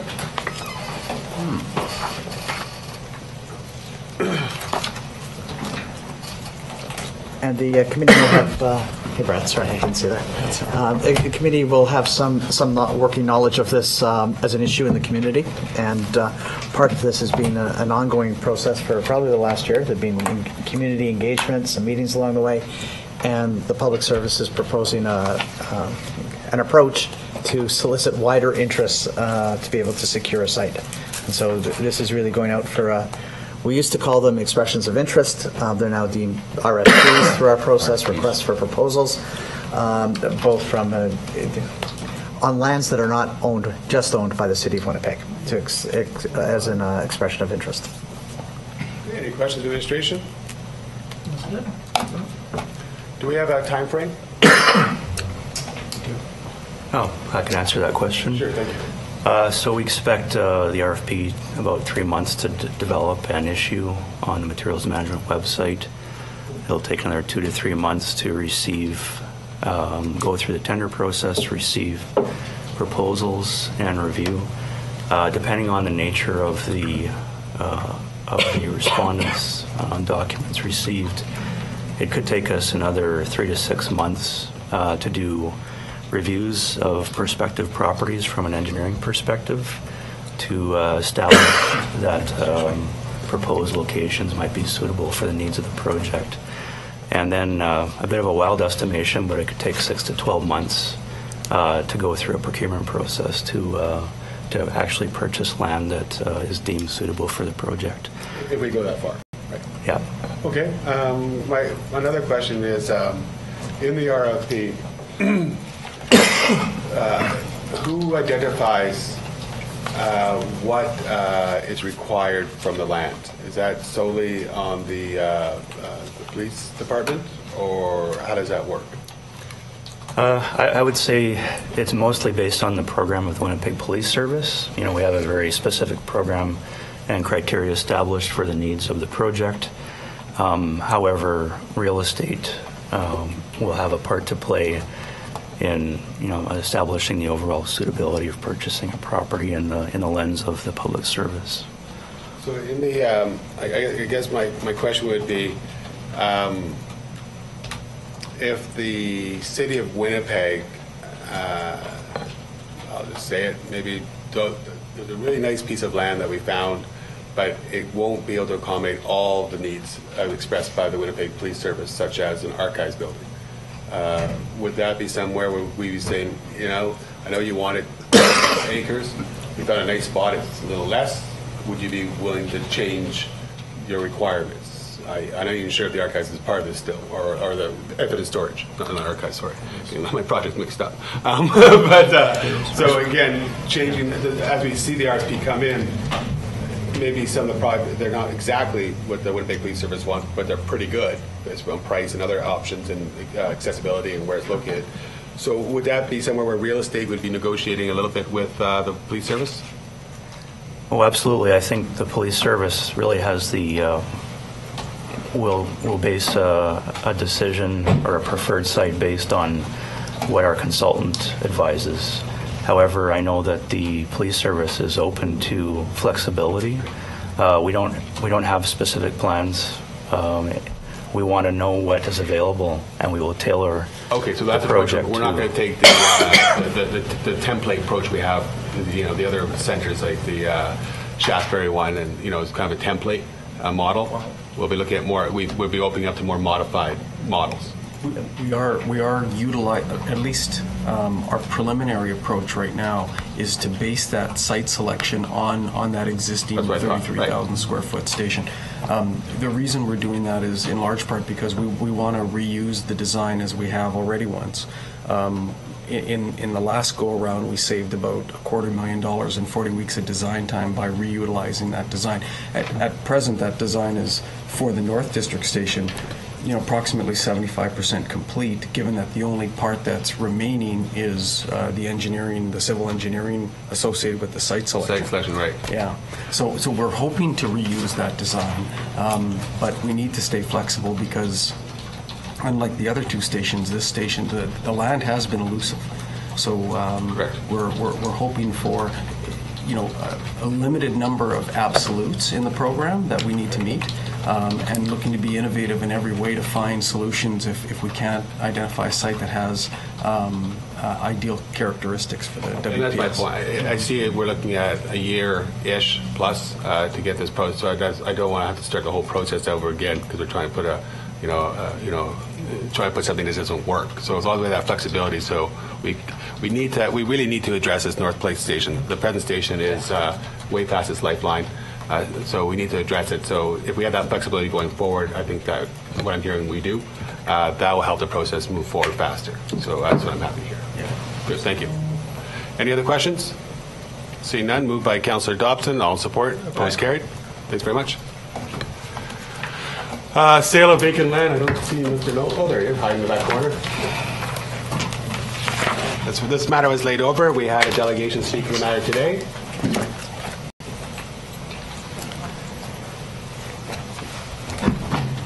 All right, thank you very much, thanks for all being here. We all know, any questions, Rick, from the administration, the last time we laid this over, uh, the issue really was, uh, it's, a- I guess we call it unsolicited offer. That's uh, or, it's from the counselor. Uh, and this uh, area that I mean, talk, we're talking about is, is the- the rationale I was given from the area counselor uh, is that it's a pristine forest. So, so the question we have today is: Is that true? Uh, is is the land, you know, a couple of trees, or is it an actual a, forested area that? And if that's so, is it something that the city uh, would be interested? Uh, is, is there any interest? I'll get into money later, but at least, a, is it something that the, the the parks and open spaces groups would say this would be a valuable piece of land for us in our park inventory? Right, right. So, um, thank you, Mr. Chairman. Uh, The area is valuable. We consider it such. We grade the uh, natural areas throughout the city on an A to D context. Uh, A being pristine um, area, D being, uh, there's been a lot of uh, uh, intervention over time.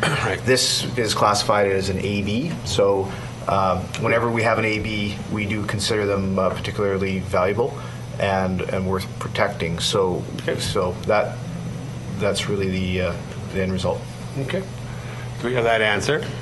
Um, But the other, go ahead. I was just going to say, I guess the other answer then would be, um, obviously, when there's a valuable land, you don't want to lose that opportunity, but then again, you have to place that against our priorities and other lands that, like, is it part of a pathway network or any kind of parks network that we'd be building, or Well, what would happen to the land if we were to purchase it? Um, I, I can only speculate on that. I, I can't say for sure, but it, it is adjacent to a riverbank area. It is riverbank bottom forest. It's river Yeah. bottom forest. It's ash, elm, um, oak, basswood in that particular area. It's it's a well-developed forest with with an understory. Um, yeah, I, I can't absolutely speculate at this time what it, what it would be, but I can say it, it, it's valuable the way it is. It is adjacent to the riverbank area, so there could be some connectivity in the future with it. It's also adjacent to an established residential community. Um, There's a school there, there's a community center located just to the west. So it, it, it it fits well within that community. A- And just to identify, it also has some servicing and development challenges, uh, you know, to, to be able to, to bring the, if if it's not being preserved, reserved as a a naturally wooded area, um, the the other opportunity would be development, but it does have development challenges. So given that, does that mean we'd possibly be able to get a decent price for it? Or does, you know, I guess that's part of an, obviously you can't get into the negotiation on that. We but- would have on- we would but have There would some have to be a conversation discussion with- about yeah. that it would be given as, since it's not developable easily. And I, had, I think we have an interested seller, where, uh, you know, so that's. It's that would worth, the might be mo- worth a having the motivated seller. conversations Yeah. anyway. You know. Then, uh, so we, yeah, so we'd be buying a structure, right? Right now, we're just saying, go out and have a chat with them. But we- But again, uh, we got, uh, th- th- th- that's, the- that's what we're talking about. Uh, Not, we're definitely not saying we're But there's purchasing. no So- so- structure so we're, it, we're right? looking at It's just the pristine part, like the pristine forest part, not the part, the property with the structure on it. That's correct, yeah. Okay. Yeah, so we, we would be acquiring, we would look, we would seek to acquire the land, negotiate a price, have some conversations, and th- this does not, um, we typically would ask for a, a, a budget by which to go and have a negotiation Well, or the point, right, permissions and those kinds of things. So that's the other part of the process. So, So how does that process well, work? let me, Sorry. let's have another question on the heritage land, or, not, sorry, I can't say that word anymore, on the uh, forest, uh, the the greater forest. Um, uh, Yeah, so as a priority of the natural land forest, uh, I don't know all, I know some of the forests in Winnipeg, and I know one particular that's quite valuable, in my opinion. Um, With this, though, you said it's a A, B, uh, I guess, back to the priority question. Would this be the priority natural area that the city of Winnipeg would want to acquire? We, we make all ABs, As as, as priority or important. Uh, There's really not a lot of land left in the city that, that is like this. It, it's a fairly rare commodity, particularly of this size. It's, it's quite a large parcel. Um, I think it's over five, five acres, so it's valuable. Okay, that's good. So my, so that's fair. Um, uh, So you, you- just to clarify, so all AB, this natural spaces would be keen on? Yes. Fair, that's fair. And and in this case, we have a, we may have a willing seller. Uh, You know, I- everybody's a willing seller if the price is right. Uh, So that's, you know, they're always willing to sell. So again, uh, can you, generally, I I know I've done a little bit on my side through the LDR. Uh, Can you explain to us why, or is that you? That wouldn't be you. Yeah, the LDR is actually uh, funded in through PP&D, so I'm not sure the status of the account. Generally, my understanding, Mayor Godey, is that the area councillor, uh, one of the ways to acquire parkland is through the LDR. The unfortunate part for this area is that the, there is not enough funds in their LDR accounts to provide a budget. Correct. Okay, so that's, that's why I just want to clarify that. It is unfortunate. Um, Other councillors have been saving up money to apply for us, so, um, but that's just, But you're not bitter. no, no, not bitter. Just still working on it. Um, so the uh, the point uh, uh, again, it's going to the point of where we put our money. So the second question, I guess, now is that we decided that her- this is a heritage forest, or I gotta stop saying that word, but a very important forest uh, for the city of Winnipeg. There is interest, I think, by the department to look at retaining it. And then the big magical question, though, uh, and this is when I talked to real estate about this before.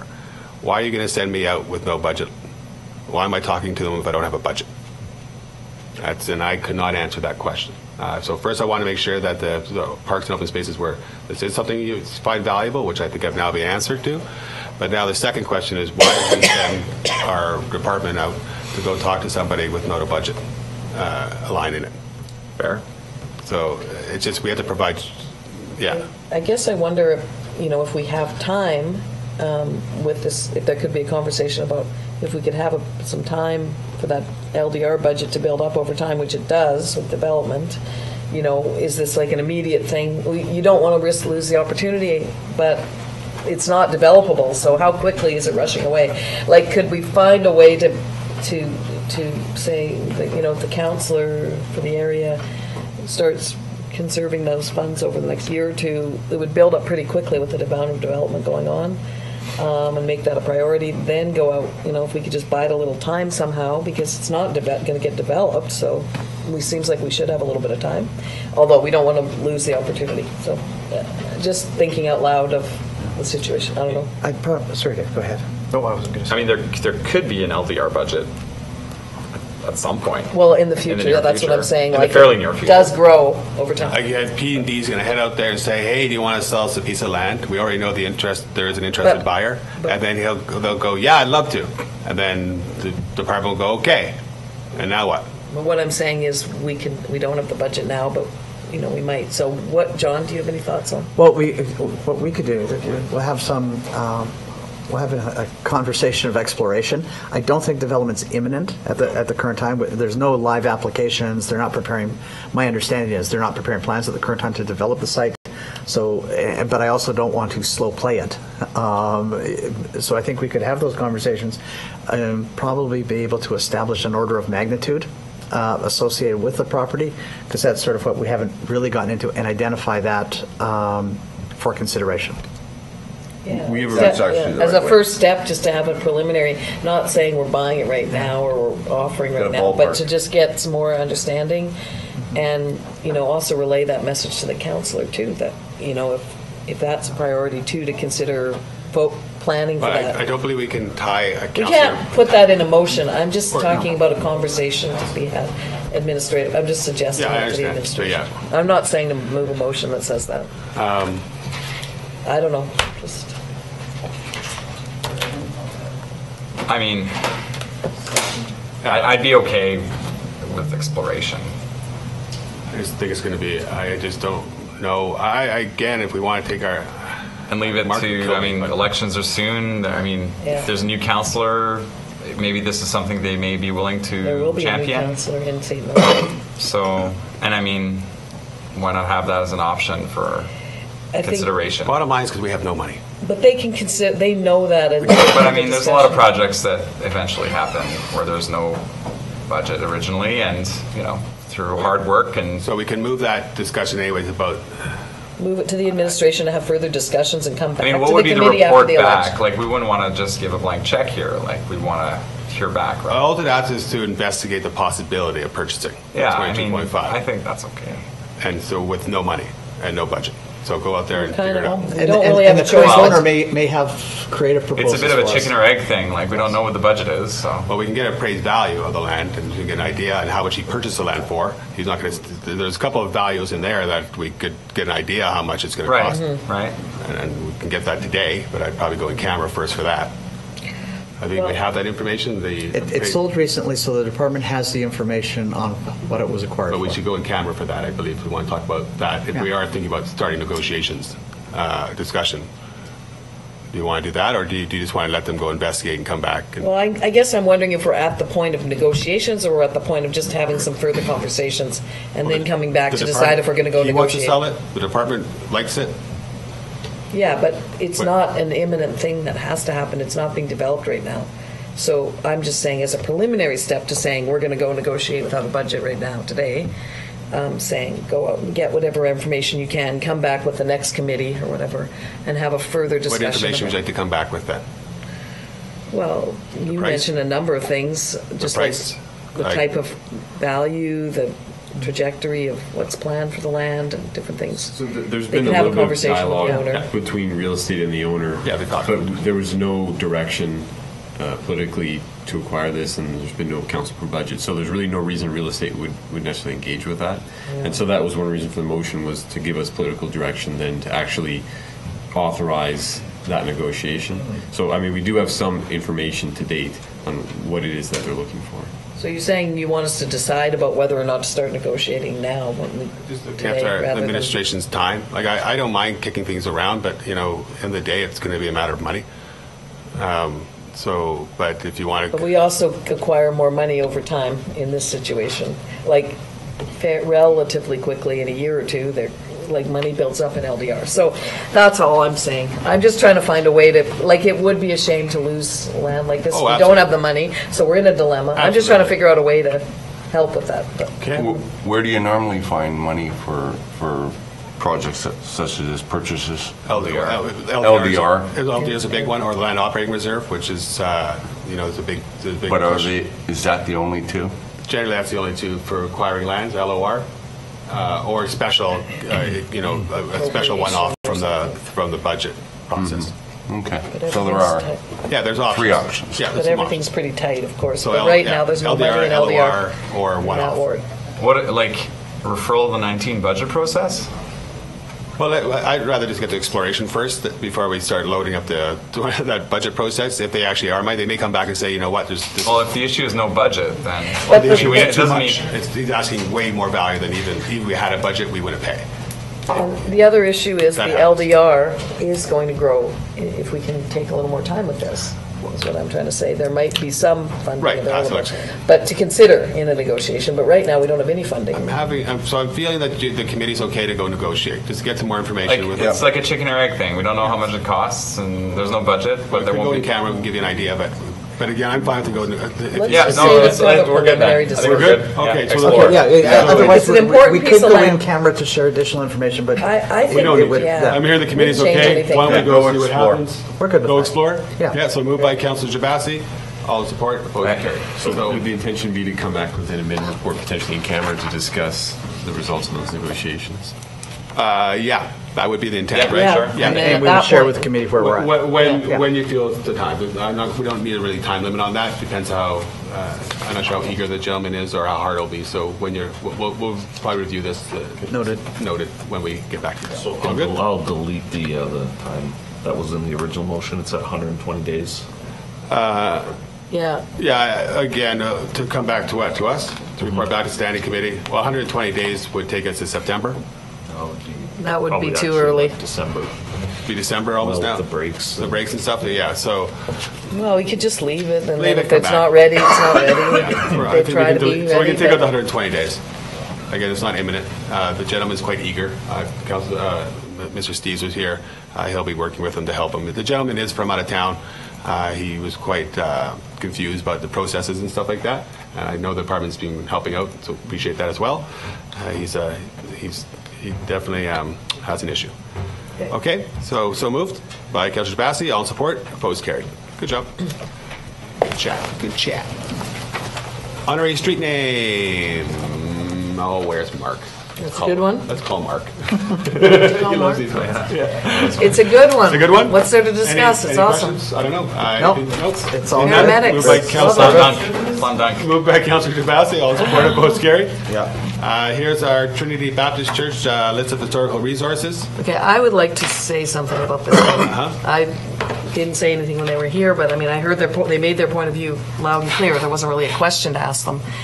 So first of all, I'd just like to make a couple of points. Um, In question of whether or not it's, has heritage value that should be protected, I don't think anyone was arguing with that. No. So in terms of objectively deciding whether it would normally be um, Oh, crap. Go um, ahead, go ahead, Councilor. whether it would, whether it would normally be protected, I, I would think the committee would just normally do that. So I don't, and, and then the question is, is anything in their argument going to change our position on that? First of all, I view heritage assets, yes, we have property rights, and we have a process for property owners to uh, deal with the fact their property has heritage value, but heritage value is to the community at large as well. It's not just you know, so to say, because the, this property owner doesn't want that designation, the rest of the community needs that designation to protect that asset. Thirdly, um, distracting me. Um, other law, other laws affect private property and the autonomy to exist in our community. You live in a civil society. I, I was a little baffled by the argument that um, they don't believe in not having complete autonomy. I don't see how this law is much different than a lot of other laws we have, like garbage pickup, um, other things that have a value. So I guess it just depends on what you value. I think heritage value is actually quite important as one of our values in our civil society. And I'm not saying that the particular owners don't also value it. They say they do. Uh, it's about autonomy, but. And then lastly, the argument about religious freedom meaning that you should be exempt from the laws of the community or the requirements of the rest of the community. Frankly, I think that the religious freedom has to be balanced with the appropriate controls that we have in our society, protect, you know, to live together with our neighbors and uh, protect, you know, all of our rights. So, I mean, maybe the Supreme Court would rule differently or something like this. is kind of a strange level to take a, uh, something like this. I found it interesting in 20 years of talking about heritage. I've never seen this argument. Um, and it was interesting. I respect the people bringing it forward, but honestly, I think it has heritage value and we should designate it. And um, so that was those are my comments. Okay, any other comments? Seeing none, moved by Councilor Gerbasi. All in support, opposed, carried. Going up to council because there was all in their opposition. Correct, sir. Number 19, uh, that we're asking for uh, layover, I believe, for Please. like five days. Something like Please. that, till Five next days. meeting? To the next meeting. The next meeting's real soon. So, the We next like doing, meeting- right. we like doing two a month. Yeah, we're gonna do that. So moved. So moved for number 20? Number 19. All in support, opposed, carried. Uh, Number 20, Osborne Village Neighborhood Plan. I don't believe there's any problems here. Any Yeah, issues? this was a community committee motion we moved. We're asking the department to take a quick look at this aspect of the uh, Osborne Village Plan, where we're finding that design review, it's a way to tighten up the design review that we're seeing, um, because there isn't, it's not, it's being missed, the intent of the plan in the neighborhood without a little bit more tightening up of, a a look at some of the redevelopment so that we can actually use design review, which isn't happening in a number of cases. So that's where this is coming from, just an explanation. Fair enough. Any comments, administration? Sounds, Uh, Just that it- it'd be an easy process for us to go forward with, and there would be no fee um, to the, there's no application, it's just part of the building permit process. okay, and seeing any other questions? Seeing none, all moved by Councilor Bassi, all in support, opposed, carried. Number 21's been laid over for a week, or until the next meeting.